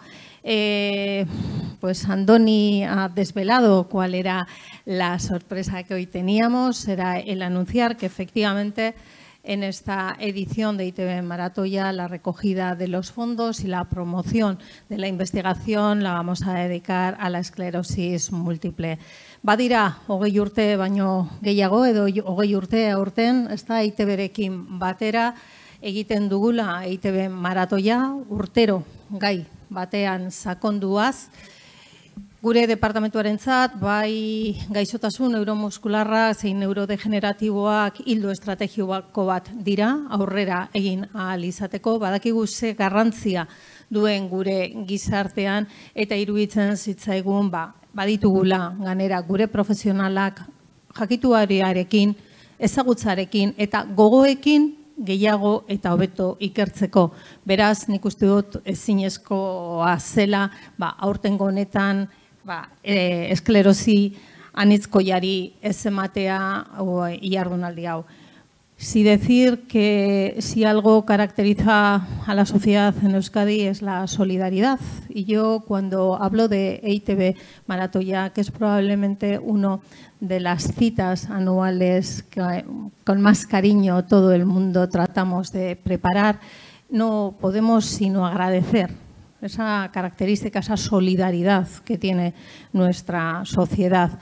Me parece que es un valor que no debemos de perder y que además no se trata solo de aquello que se vaya a aportar económicamente. Cualquier aportación es bienvenida y os puedo asegurar que durante la jornada de recaudación de ITV Maratoya, los testimonios que recibimos de la gente que llama para poner su aportación son terriblemente gratificantes. Es uno de los momentos más bonitos, probablemente, ¿no? Con qué cariño la gente aporta aquello que quiere porque siente que con eso contribuye, no está haciendo un gasto, está haciendo una inversión, contribuye a mejorar parte del presente y sobre todo el futuro. Besterik gabe, nik uste dut aurtengo honetan ere arrakastatzua izango dala EITB maratoiako eguna eta horrekin ba, esklerozian izkoitzan aurrera pausoak ematen jarraituko dugula. Benetan guztiontzako egun hori eta hemendik eta ordura egiten ditugun berri emate guztietan zuetariko bakoitza izango dudala nik aurre aurrean. Eskerrik asko.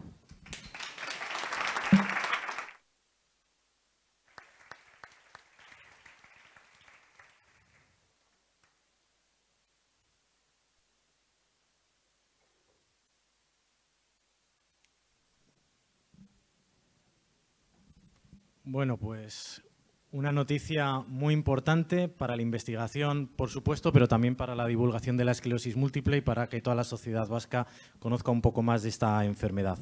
Y voy a dar paso a la última intervención que pretendemos hacernos a todos pensar y reflexionar un poco. Y hoy nos acompaña para este cierre eh, Miguel Ángel Tobías, que lo tenemos por aquí. Hola, buenas tardes, Arracha Aldeón. Es productor eh, de cine y de documentales sociales. Supongo que os sonará eh, el programa de televisión española Españoles por el Mundo. Eh, eh, surgió de, la, de, la, mano de Miguel Ángel, que después se ha dedicado a recorrer el mundo también recogiendo situaciones de conflictos, situaciones sociales, campos de refugiados. de él es la serie documental El Camino Interior y ahora acabas de publicar un libro. Todo esto es para introducirte, darte el micro, el escenario. Muchas gracias por acompañarnos y por cerrar este acto hoy del Día Mundial. Todo tuyo, Miguel Ángel. Cuidado. Muchas gracias. Bueno, muchas gracias a todos. Buenas tardes. Se le ha olvidado decir lo más importante, es que soy de Baracaldo. ¿Eh? Entonces, esto es ese dato que yo pongo siempre al principio de todo, que luego vais a entender la importancia de ser de Baracaldo porque a pesar de que muchos, digo de Baracaldo, Bilbao, da igual, ¿eh?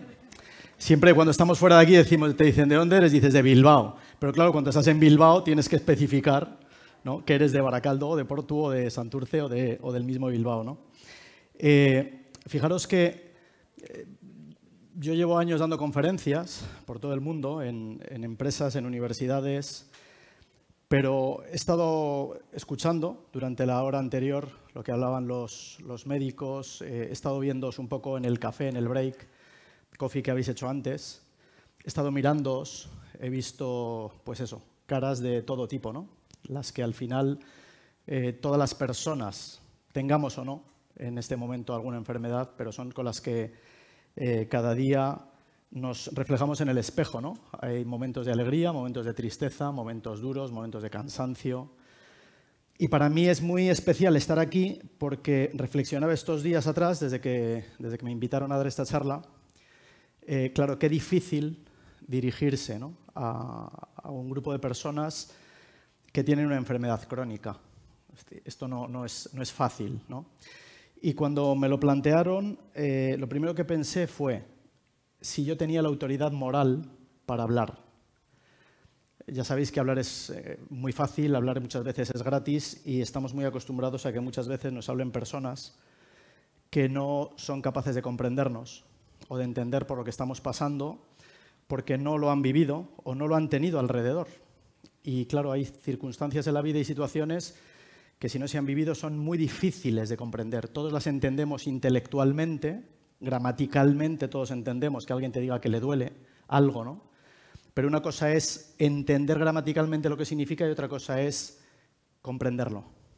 Y como muchas eh, veces pasa en la vida, pues la mayoría de los que estáis aquí, eh, porque estáis eh, padeciendo la enfermedad, y los familiares, ¿no? que, evidentemente también la padecéis con los pacientes, pues soy muy consciente de que muchas veces nos sentimos todos incomprendidos. ¿no? ¿Por qué me he decidido venir aquí esta tarde y hablar con vosotros? Porque, primero porque yo he estado tres veces a punto de morir, tres veces, al borde de la muerte. Eh, no cuento accidentes de coche, accidentes de paracaidismo, es decir, otras circunstancias que también hubo mucho peligro, pero bueno, no pasó nada en el momento y cuando no pasa nada en el momento dices, pues ya está, ¿no? Pero sí hubo tres veces donde yo tuve que luchar seriamente para no morir. Ahogado y envenenado en África, y en los Andes, a 6.000 metros de altura, eh, subiendo una montaña, donde la muerte era un hecho cierto, donde el, único horizonte que yo tenía frente a mí es que iba a morir. Si no hacía algo, si no pasaba algo que impidiera que yo muriese cuando eso era, eh, si fuera una casa de apuestas esto, pues el 100% de las personas hubieran apostado a que Miguel Ángel moría. ¿no? Pero me ha, tocado, por mi trabajo en zonas de guerras, de catástrofes, de conflictos, en campos de refugiados, me ha tocado también eh, ver muchas situaciones y hablar con muchas personas que también han estado al borde de la muerte o con muchas personas que han perdido eh, seres queridos. Y he aprendido muchas cosas al final de hablar con todos ellos, de rodar documentales en todas estas zonas del mundo. Y quería compartiros alguna con vosotros por si y esta es la única intención que yo tengo esta tarde, esta charla de hoy, es eh, transmitiros un poco de fuerza, transmitiros un poco de esperanza. Voy a tratar de demostrar por qué hay que tener esperanza, lo voy a demostrar científicamente. Y voy a tratar de demostrar científicamente también por qué no hay que rendirse. Porque cuando uno ha sido protagonista de situaciones en las que si yo hubiera, me hubiera rendido, pues no estaría aquí. y he vivido situaciones y las he visto en otras personas que gracias a la esperanza no se rindieron y gracias a eso hoy siguen aquí. ¿no? Eh, yo estuve en el terremoto de Haití. ¿Os acordáis? Hace 13 años, 320.000 personas muertas en 40 segundos, eh, 2 millones de personas sin hogar, cientos de miles de personas heridas, de heridos. Y una de las protagonistas de las chicas del documental, una niña de 21 años, había perdido en ese terremoto, perdió a su padre, a su novio, a un hermano y a cuatro primos. Por supuesto, perdieron la casa también.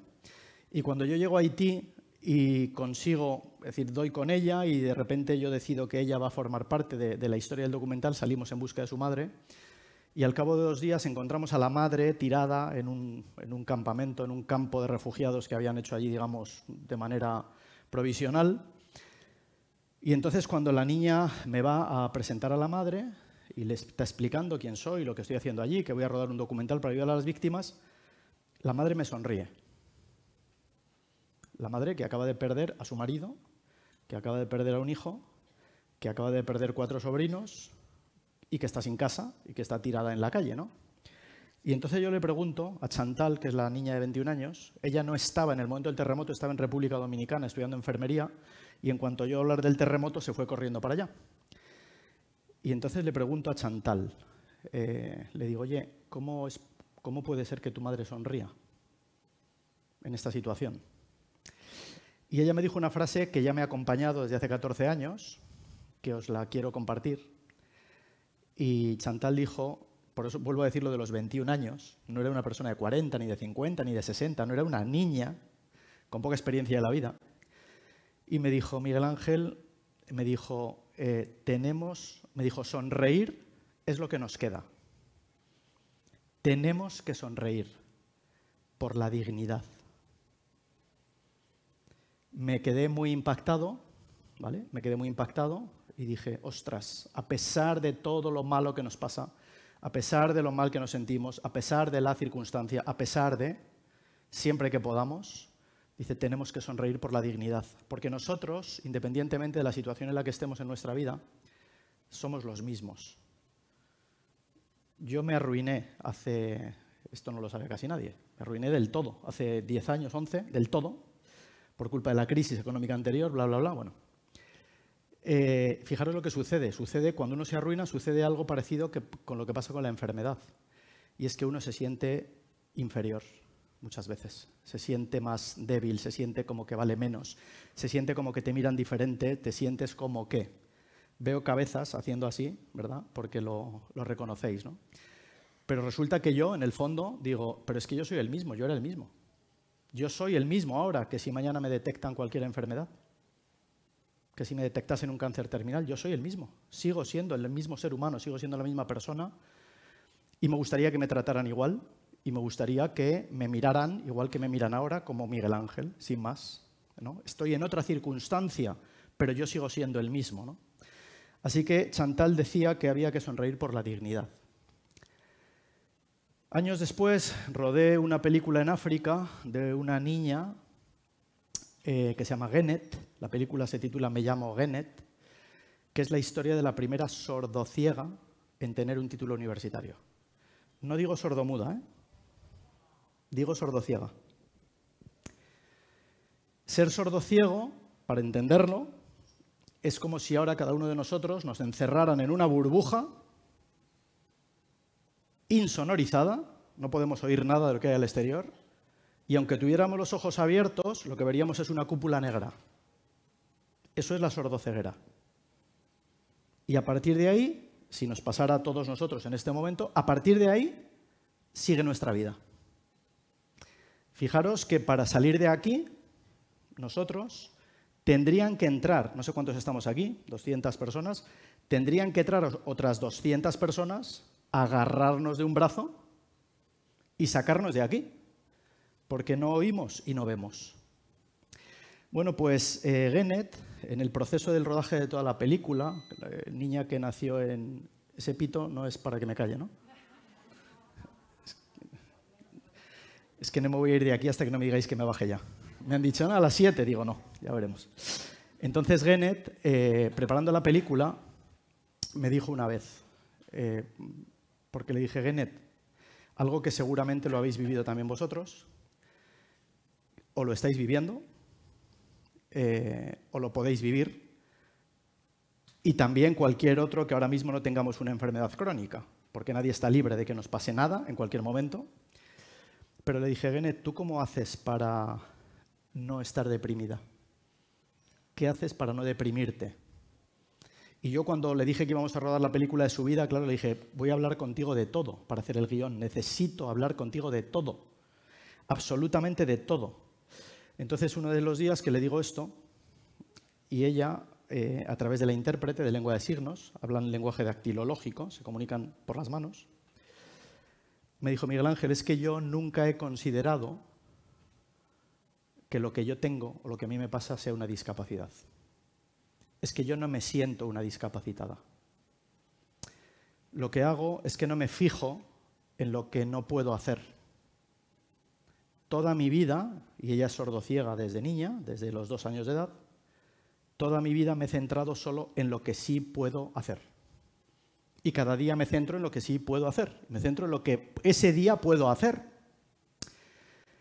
Esa fue otra de las grandes lecciones potentes, es decir, que me, que me, quedé ¿no? Eh, para mí. Y yo he rodado una serie que vais a poder ver en televisión española ahora, que os ruego que la veáis, porque tiene, tiene mensajes. La serie se titula El Camino Interior. Eh, y tiene mensajes para todos nosotros toda la serie, cada capítulo tiene mensajes para cada uno de nosotros, como si la gente que habla nos conociera personalmente y nos dijese, oye, esto es para ti, esto es para ti, esto es para ti. Cuando la pandemia, cuando empezó la pandemia, hemos vivido esta pandemia, ¿qué, qué lección nos ha traído esta pandemia? Nos ha traído dos muy fuertes, creo. Una, lo vulnerables que somos. Nos ha demostrado lo vulnerables que somos. Muchos de vosotros ya lo sabíais. Pero hay mucha gente que se ha enterado ahora durante la pandemia que somos muy vulnerables, que nuestra vida, nuestra seguridad, eh, nuestra salud, nuestro todo, se puede quebrar en un instante, de un minuto para otro. Por lo tanto, con este mensaje ¿no? de decir, de, oye, somos mucho más vulnerables de lo que pensábamos, venía otro mensaje y también viene otro mensaje asociado. El otro mensaje asociado que la pandemia nos trae y que es el subclaim, el subclaim es el subtítulo, la serie se titula El camino interior y el subtítulo de la serie es Todos necesitamos de alguien que camine a nuestro lado. Todos necesitamos de alguien que camine a nuestro lado. Sé que muchos de vosotros lo sentís, lo entendéis, lo vivís. Es decir, los que tenéis la enfermedad sois conscientes, vuestras familias son conscientes. Y esta, esta pandemia ha traído este mensaje para todos de darnos cuenta de que estamos aquí para ayudarnos. Es decir, unos a otros, no sabiendo en qué momento vamos a ser nosotros, que esta es la gran paradoja de la vida, los que podemos necesitar ayuda en cualquier momento. Uno de los protagonistas de esta serie de 16 capítulos, que fijaros, ¿eh? yo hice una selección, ahí están Mario Alonso Puig, está Alejandra Vallejo Nájera, está Edurne Pasabán, hay un neuropsiquiatra, es decir, hay, hay, gente muy, muy potente, y yo hice un ejercicio con los 16 para que formaran parte de la serie, me planteé que tenían que cumplir todos, todos cuatro requisitos. Pero el más importante, que tiene que ver con lo de la autoridad moral que yo hablaba antes, era que todos hubieran tenido alguna circunstancia en su vida que les quebrara la vida y que les obligara a reflexionar y replantearse la vida. De este modo, todos los que estáis en esta sala y que, sois pacientes de, de esclerosis, podríais haber venido conmigo. Es decir, todos vosotros sois maestros que evidentemente la vida os ha situado en un momento determinado, os ha dado un golpe, ha generado un momento de quiebre que os ha obligado a repensar la vida, a replantearla, a preguntarnos quiénes somos, qué sentido tiene esto, para qué estoy aquí. Pues de los 17 que somos, conmigo incluido, 16 más, yo 17, 12 hemos estado al borde de la muerte. O imaginaros, si es una situación, digamos, límite, como para que uno se dé cuenta de eh, que, que, esto merece la pena pensarlo. ¿no? En paralelismo con vosotros, porque los pacientes de una enfermedad crónica, en este caso esclerosis, es decir, mm, claro, en realidad estáis en la pelea. Es una pelea, ¿no? Cada día es una pelea para intentar estar lo mejor posible, para intentar no deprimirse, para intentar eh, mejorar, es decir, es una pelea. La primera vez que yo estuve a punto de morir fue en África ahogado por una estupidez de intentar ir nadando de una isla a otra y en mitad del camino, al dar la vuelta, la corriente ya no, no me dejaba volver. Y ahí me di cuenta, dije, ya está, estás muerto, o sea, no, no, no hay forma de que vuelvas a llegar a, la isla y por lo tanto pues te vas a ir agotando, te vas a ir agotando, que fue de hecho lo que fue sucediendo. Te vas agotando, decir, vas perdiendo las fuerzas, eh, la musculatura desde los de las pies, piernas hacia arriba, te vas quedando sin ella. Conseguí llegar a la orilla eh, y ya llegué solo con los brazos. Ya, es decir, el cuerpo lo tenía dormido prácticamente. De aquí para abajo la musculatura ya no me respondía. Y entonces llegué como arrastrándome a la arena, pero fijaros, eh, no tuve mucho tiempo de reflexión, porque yo estaba peleando.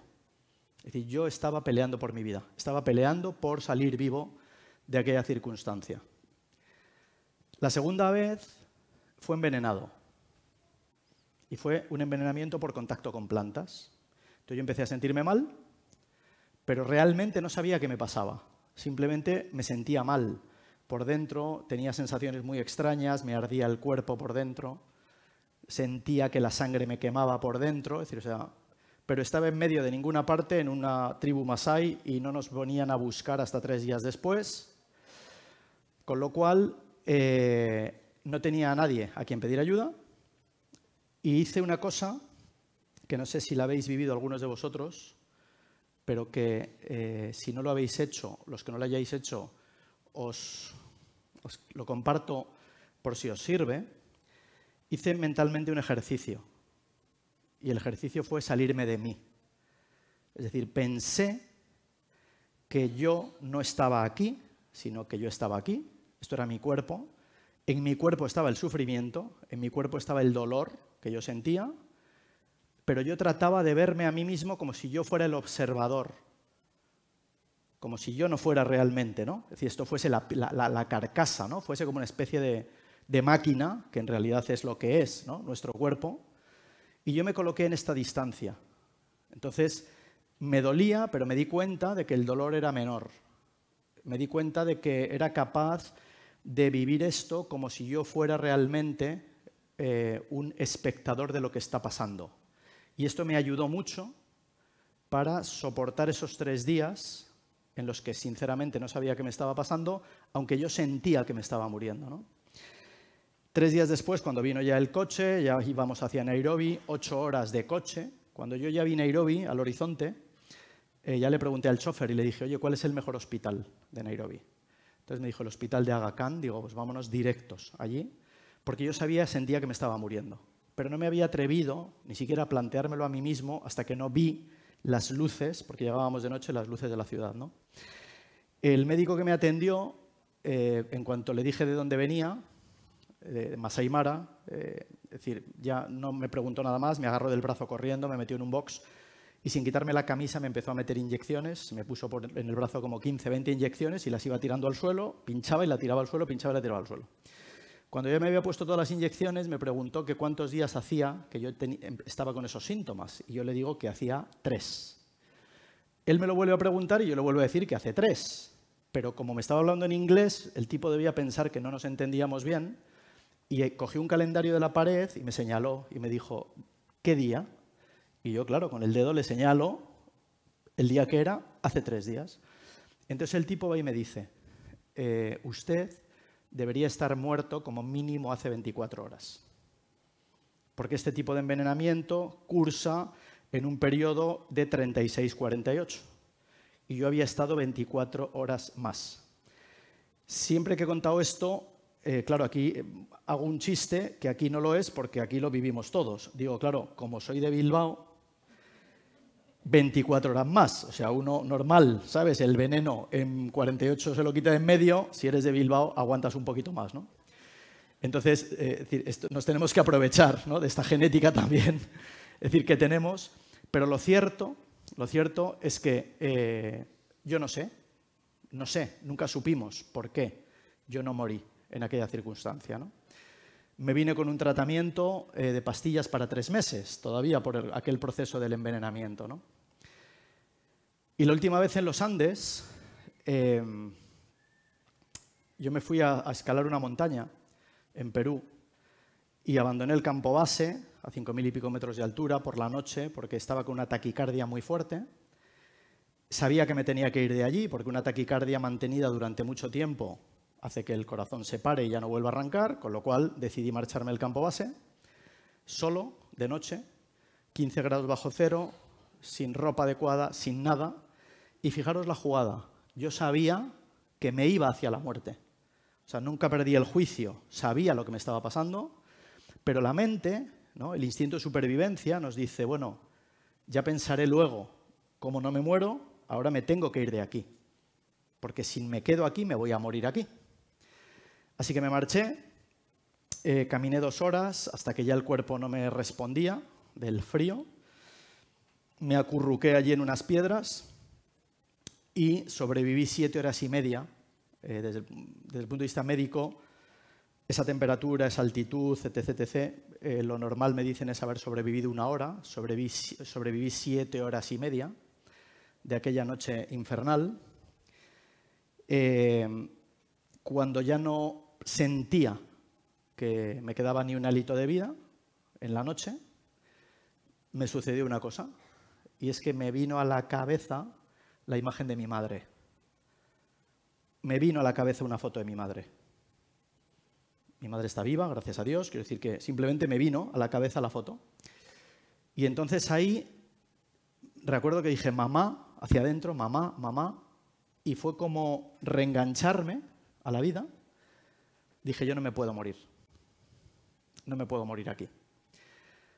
Pensar en mi madre me, hizo seguir esa noche y sobrevivir esa noche, pero al día siguiente eh, cuando salió la luz, la luz significaba calor, yo dije, bueno, he vivido, estoy, vivo, he sobrevivido. Pero esa alegría me duró 10 segundos o 15, que fue el tiempo que tardé en girar la cabeza 360 grados y darme cuenta que estaba en el medio de los Andes, en medio de la nada, no hay animales, no hay vegetales, eh, no hay vida humana allí. Sabía que no me iban a venir a buscar, porque ¿hacia dónde me iban a buscar? Cuando yo me había ido en medio de la noche perdido hacia ninguna parte, y por lo tanto sabía que una segunda noche ya no iba a sobrevivir. Sabía por conocimiento científico que había consumido todo el agua celular para mantener los 36 grados y medio de temperatura corporal en esa noche helada y sabía que cuando volviese a caer el sol, seis y media de la tarde, que la temperatura pasa de 30 sobre cero a 15 bajo cero, digo, pues a las 7, 8, 9, 10 de la noche te mueres. Fallo renal, shock hipovolémico y se acabó. Y fijaros, no sé si habéis oído hablar, esto es la alarma que me he puesto a mí mismo, para que no me riñan. Eh, no sé si, os, decir, lo, lo habéis oído alguna vez o lo habéis vivido, pero parece ser que todo el mundo cuenta que cuando estamos a punto de morir, nuestra vida pasa como en forma de fotogramas a toda velocidad, ¿no? toda nuestra vida, a mucha velocidad en unos segundos. Fijaros que yo tuve que vivir esa experiencia desde las seis y media de la mañana hasta que sucedió lo que sucedió, cinco de la tarde, o sea, casi doce horas, donde ese proceso de pensar y repensar en mi vida, de hacer el repaso de lo que yo había hecho, de quién había sido, de cómo me había comportado, de cuál era mi relación con las personas en mi vida, lo tuve que ir haciendo. Tuve 12 horas prácticamente para hacer este repaso. ¿no? Si a mí en ese momento alguien me dice, eh, Miguel Ángel, eh, tienes que responder una pregunta y si te equivocas, toda tu familia muere. Si aciertas, toda tu familia vive. Y la pregunta hubiera sido, ¿crees que vas a morir hoy aquí? yo con una sonrisa en la cara hubiera dicho que sí. Y hubiera dicho que sí con una sonrisa en la cara pensando, acabo de salvarle la vida a toda mi familia. Pues fijaros, lo cierto es que yo estoy aquí. Por lo tanto, no morí, por lo tanto hubiera matado a toda mi familia. Y entonces comprendí de, una manera brutal, de una manera brutal, estos dos conceptos, ¿no? del no rendirse y el de la esperanza. Fijaros, la esperanza eh, tiene la magia de que solamente se tiene que haber mostrado una vez en nuestra vida, solo una, para que sepamos que existe. Es decir, uno quería que pasara algo, ¿no? uno esperaba que pasara algo, uno pedía que pasara algo, y de repente ese algo sucedió, trasladarlo cada uno de vosotros a, vuestro propio proceso vital, ¿no? O sea, ya no de enfermedad, sino vital, porque aquí estamos todos en el mismo juego, este, formamos parte todos de esta misma obra de teatro. Eh, con una sola vez que se manifieste, ¿qué quiere decir? Que sabemos que existe. Y la jugada es, y este es el valor que tiene la esperanza, si ya se ha manifestado una vez, ¿por qué no lo va a hacer una segunda, una tercera, una cuarta, una quinta. A las 3 de la tarde, cuando yo estaba en los Andes, yo acepté mi muerte. En ese proceso que os decía que viví, acepté que iba a morir. Lo acepté. Y por lo tanto, no lo sé, quizás es, decir, me pongo a pensar y digo, oye, es el aceptar lo que nos va pasando en el día a día, es aceptar la enfermedad que tenemos, decir, es, es aceptar la situación que estamos viviendo, X la que sea. Eh, y es verdad que cuando uno acepta, aceptación no tiene nada que ver con resignación. ¿eh? Aceptar no es resignarse. En, en, resignarse no hay crecimiento.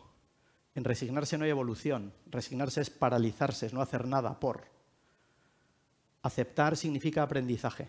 Aceptar significa, cuando hay aceptación, hay crecimiento personal. Y desde la aceptación es donde podemos trabajar y donde podemos evolucionar. ¿no? Pues yo acepté mi muerte y entré en una fase donde me había despedido ya de toda mi familia. Es muy curioso porque alguien luego me ha contado que cuanto más cerca estamos de la muerte, en menos personas somos capaces de pensar, ni de colocar en nuestra cabeza, y yo ya solo tenía a mi madre. Y fijaros, tenía solo a mi madre, veía la, imagen de mi madre en mi cabeza, es decir, era la única imagen que yo era capaz de dibujar. El rostro de mi madre era el único que ya podía dibujar en mi cabeza. Ya no era capaz de dibujar el de mis hermanas, el de mis sobrinos, o sea, el de la gente que, que yo también amaba, ¿no? Y en ese momento de aceptación dije, ok, pues ha llegado el momento, ha llegado el momento, Miguel Ángel es aquí, es aquí. Yo no estaba herido, no estaba enfermo, no me pasaba nada, quiero decir, y me había ido a un viaje de aventura y mi vida se acababa ahí. Y además se acababa ahí, mi familia aquí en casa, agosto, de vacaciones, pensando Ah, pues Miguel está en Perú pasándoselo bien en un viaje de aventura con sus amigos. Es decir, nadie podía pensar, nadie sabía, excepto mis amigos que se habían quedado en el campo base, que eran los únicos que estaban preocupados por dónde estaría yo, pero mi familia, mis seres queridos no tenían ni idea de que yo me iba a morir ahí, en ese momento, ¿no? Pero al aceptarlo, ¿vale? Mi nivel de sufrimiento bajó. Bajó, disminuyó, porque había aceptado. Pero resulta que yo eh, en esa aceptación tenía dos opciones. La enfermedad nos las da también, ¿eh? todos los puñeteros días. Una es, ¿qué más me da? Yo estaba en los Andes y digo, ¿qué más me da morirme aquí que morirme a dos kilómetros? ¿Qué más me da? Si es todo piedra. Entonces pensé y dije, Miguel Ángel, siéntate, disfruta del calor del sol, disfruta de la luz y espera a que llegue la noche y te mueres. Esa opción pasó por mi cabeza. Pero a continuación de pensar esto, dije no. Dije no. Miguel Ángel, tú no te mueres así. Tú eres un guerrero. Yo soy un guerrero. Eh, tú eres un guerrero. Guerrera, guerrera, guerrero. Todos tenemos un guerrero dentro. Indiscutiblemente, igual que todos tenemos un niño dentro, que a veces simplemente es que lo hemos sublimado ¿vale? Y no le escuchamos, pero esto pasa con el guerrero también, todos lo tenemos dentro. yo me acordé por muchas vivencias y experiencias pasadas que yo tenía un guerrero dentro. Y entonces a partir de ese momento, mi única obsesión, fijaros, ¿eh? habiendo aceptado mi muerte, era que cuando me encontraran, al día siguiente o al siguiente o tres después, se dieran cuenta por la posición del cuerpo que yo había muerto caminando. Mi único objetivo a partir de ese momento fue decir, yo quiero que mi familia sepa, que el mundo sepa, que la gente que quiero y que me quiere sepa, que yo no me rendí, que no me rendí. Por lo tanto, yo dije, voy a caminar, ya pase lo que pase, llegue la noche, con la oscuridad me despeñaré, lo que sea, pero ya no me voy a quitar la mochila, ya no voy a dejar de caminar. Cuando el corazón se pare, se ha parado, o si me caigo, me he caído y me he despeñado, pero voy a estar con la mochila puesta para que se den cuenta de que yo he muerto caminando. Si yo me hubiera rendido en ese momento y me hubiera quedado quieto, eh, no estaría aquí, porque no hubiera pasado lo que sucedió horas después, que me salvó la vida. Por eso imaginaros con qué fuerza yo salí de aquella situación que luego la he visto en otras personas a lo largo del mundo, en zonas de guerras, de catástrofes, donde lo lógico es perder la esperanza o no tenerla, donde lo lógico es rendirse, pero yo he aprendido que no voy a dejar jamás, que no debemos jamás de dejar de, dejar de tener esperanza, porque ya se me ha manifestado en la vida y probablemente si todos tiramos de nuestra memoria, a todos se nos ha manifestado alguna vez ya en la vida. La, esperanza, ¿sabes? Se nos ha manifestado como para saber que ya existe, por lo tanto, ¿por qué no va a volverse a dar la magia una, dos, tres, cuatro, cinco veces? Y la otra, la de no rendirnos. ¿Por qué? Porque no sabemos detrás de qué tratamiento médico, de qué investigación, de qué, de qué, de qué puntos suspensivos. No sabemos detrás de qué, de repente, nuestra vida cambia mejor. Y además en medicina, que efectivamente no son matemáticas, ojalá, ¿verdad? Fueran matemáticas, dos, más dos, ¿verdad? Eh, fuesen cuatro, eh, se da una máxima y se sabe, ¿no? Y es que muchas veces eh, los pacientes de cualquier tipo de patologías de repente mejoran o empeoran sin que haya habido intervención por parte del médico, por parte de medicamentos. Es decir, por algo más allá de lo que nosotros podemos controlar. Eh, algún día la magia, evidentemente, no se va a dar. Quiero decir, algún día va a pasar algo, me va a suceder algo, y ese día, por mucha esperanza que yo tuviera, o por mucho no rendirme, ese día se acabó, como se va a acabar para todos nosotros. Pero para mí la jugada, ¿sabéis cuál es? Que vivamos lo que vivamos, cuando no llegue ese momento, no llegue ese día, y hagamos todos este repaso, que, que todos vamos a hacer indiscutiblemente, pensar, hice todo lo que pude, viví con mayúsculas todo lo que pude, en cada momento, en función de la circunstancia en que me tocaba vivir. Es decir, no pensar en qué pena ahora me doy cuenta de que a pesar de cómo estaba, a pesar de lo que sucedía, a pesar de, estaba vivo y por lo tanto tenía sentido. Y voy a acabar diciendo simplemente que eh, yo estoy convencido de que la única obligación que tenemos para con nosotros mismos, tenemos obligaciones con la familia, con los amigos, con compañeros de trabajo, incluso con Hacienda, tenemos vivimos una vida llena de obligaciones, pero solo tenemos una obligación, solo una con nosotros mismos. Solo una, que es perseguir nuestros sueños. Es la única obligación que tenemos. Y yo sé que cuando digo esto, hay gente pensando, oye Miguel Ángel, ¿perseguir los sueños me va a dar la felicidad? Digo, por supuesto que no es una garantía, solo faltaría. Si estuviera garantizado, todo el mundo lo haría. Nos habríamos dado cuenta hace mucho y todo el mundo lo haría. Pero lo que sí puedo afirmar es que no perseguirlos, es decir, no luchar por lo que uno siente, sí genera infelicidad. Por lo tanto, en la balanza tenemos la opción de no luchar por los sueños, lo cual sí nos va a generar infelicidad, o luchar por ellos, donde a lo mejor no lo conseguimos, pero las posibilidades de conseguirlos están. ¿Y qué pasa? Que cuando luchamos mucho por algo, aunque no lo consigamos, pero si hemos dado todo lo que nosotros teníamos dentro, todo, no hay frustración. En realidad la frustración se da cuando uno piensa en todo lo que quería haber hecho y no hizo, esperando a, esperando a que pasara algo, esperando a que eh, saliera el sol, esperando a sentirme un poco mejor, esperando a, cuando la realidad, y esto vuelvo otra vez al COVID, nos ha demostrado que la vida es un hecho absolutamente vulnerable, esa es la parte mágica, que estamos aquí hoy, todos hoy, aquí, ahora, pero no tenemos ninguna garantía, ninguno de nosotros, de estar dentro de una hora, de dos, de tres, de un día. Por lo tanto, tenemos que aprovechar.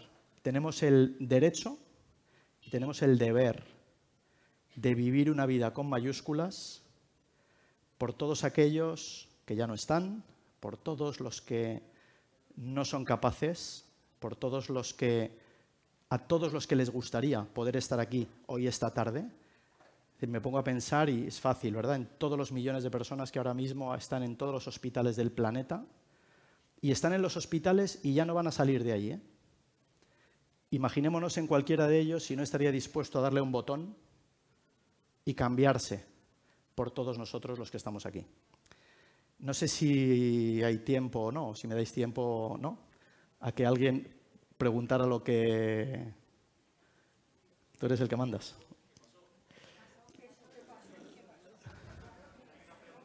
Una pregunta colectiva, está claro. ¿Qué, qué pasó en los Andes? pues pasó, eh, pasó que pedí cinco cosas Cinco, no tres, nueve. Y que las cinco cosas fueron sucediendo una detrás de la otra. Y gracias a que sucedieron una detrás de la otra, yo salí vivo. Solo con una que no se hubiera dado, pues no estaría aquí. Eh, yo creo que los milagros existen. Eh, yo he sido protagonista de un milagro en los Andes. Hablo de milagro en el sentido de un hecho que no tiene explicación racional, que yo pedí y que sucedió. Y por supuesto esto lo circunscribo en lo que cada uno sienta o en las propias creencias. Yo no practico ninguna religión, pero yo en los Andes tuve una conversación directa, personal con Dios, para lo que cada uno sea. Si eres cristiano es tu Dios, si eres un indígena del Amazonas es el Gran Espíritu, si eres un habitante de los Andes, pues ellos hablan de los apus de las montañas. Eh, depende de la corriente de pensamiento, otros hablan de la energía universal, del yo superior, no importa. Es decir, lo que sí os puedo garantizar es que hay más de lo que vemos, hay mucho más de lo que vemos, eh, yo he vivido un milagro y como yo he vivido un milagro, sé que los milagros existen y que por lo tanto eh, siempre tiene que haber esperanza, no podemos perder la esperanza y jamás rendirnos. ¿Os acordáis de aquel viejo dicho, ¿no? de adiós rogando y con el mazo dando? No hagamos como el de la barca, ¿vale? Que estaba en el agua, en el mar, se había hundido su barco Dios mío, ayúdame, pasa una zodia que dice, hombre, no, si le he pedido ayuda a Dios, vete.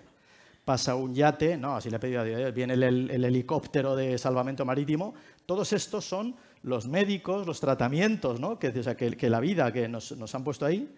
Y cuando el tipo se está ahogando, Dios mío, ¿por qué me has abandonado? ¿no? Dijo. Entonces, decir, esa forma parte del trabajo que también nosotros tenemos que hacer, de lo que nos toque, de lo que podamos de hacer los tratamientos, o sea, de, tratar de tener el ánimo lo más arriba posible y de tratar de hacer todo lo que aquí se ha hablado hoy día, ¿no? Eh, porque merece mucho la pena, es tremendo, porque merece mucho la pena vivir pero desgraciadamente mucha gente no se da cuenta hasta que está en ese último momento de vida, donde mira para atrás y dice, ostras, si ahora pudiera dar marcha atrás, pues ahora sí que haría esto, esto, esto, esto, esto. Así que no perdáis, os pido que no perdáis la esperanza y que no os rindáis. Mucha fuerza a todos y gracias de corazón.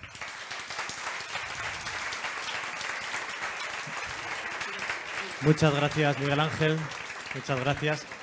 Bueno, pues con la intervención de con la intervención de Miguel Ángel vamos a cerrar.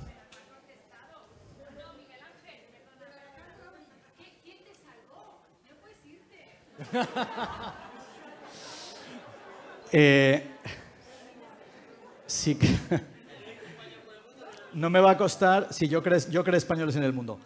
Eh, no, eh, no, me va a costar decir que hay un libro que se titula Renacer en los Andes, que como he donado a una fundación los derechos y los royalties, no me cuesta nada decirle a la gente que, lo lea, porque ahí está el minuto a minuto.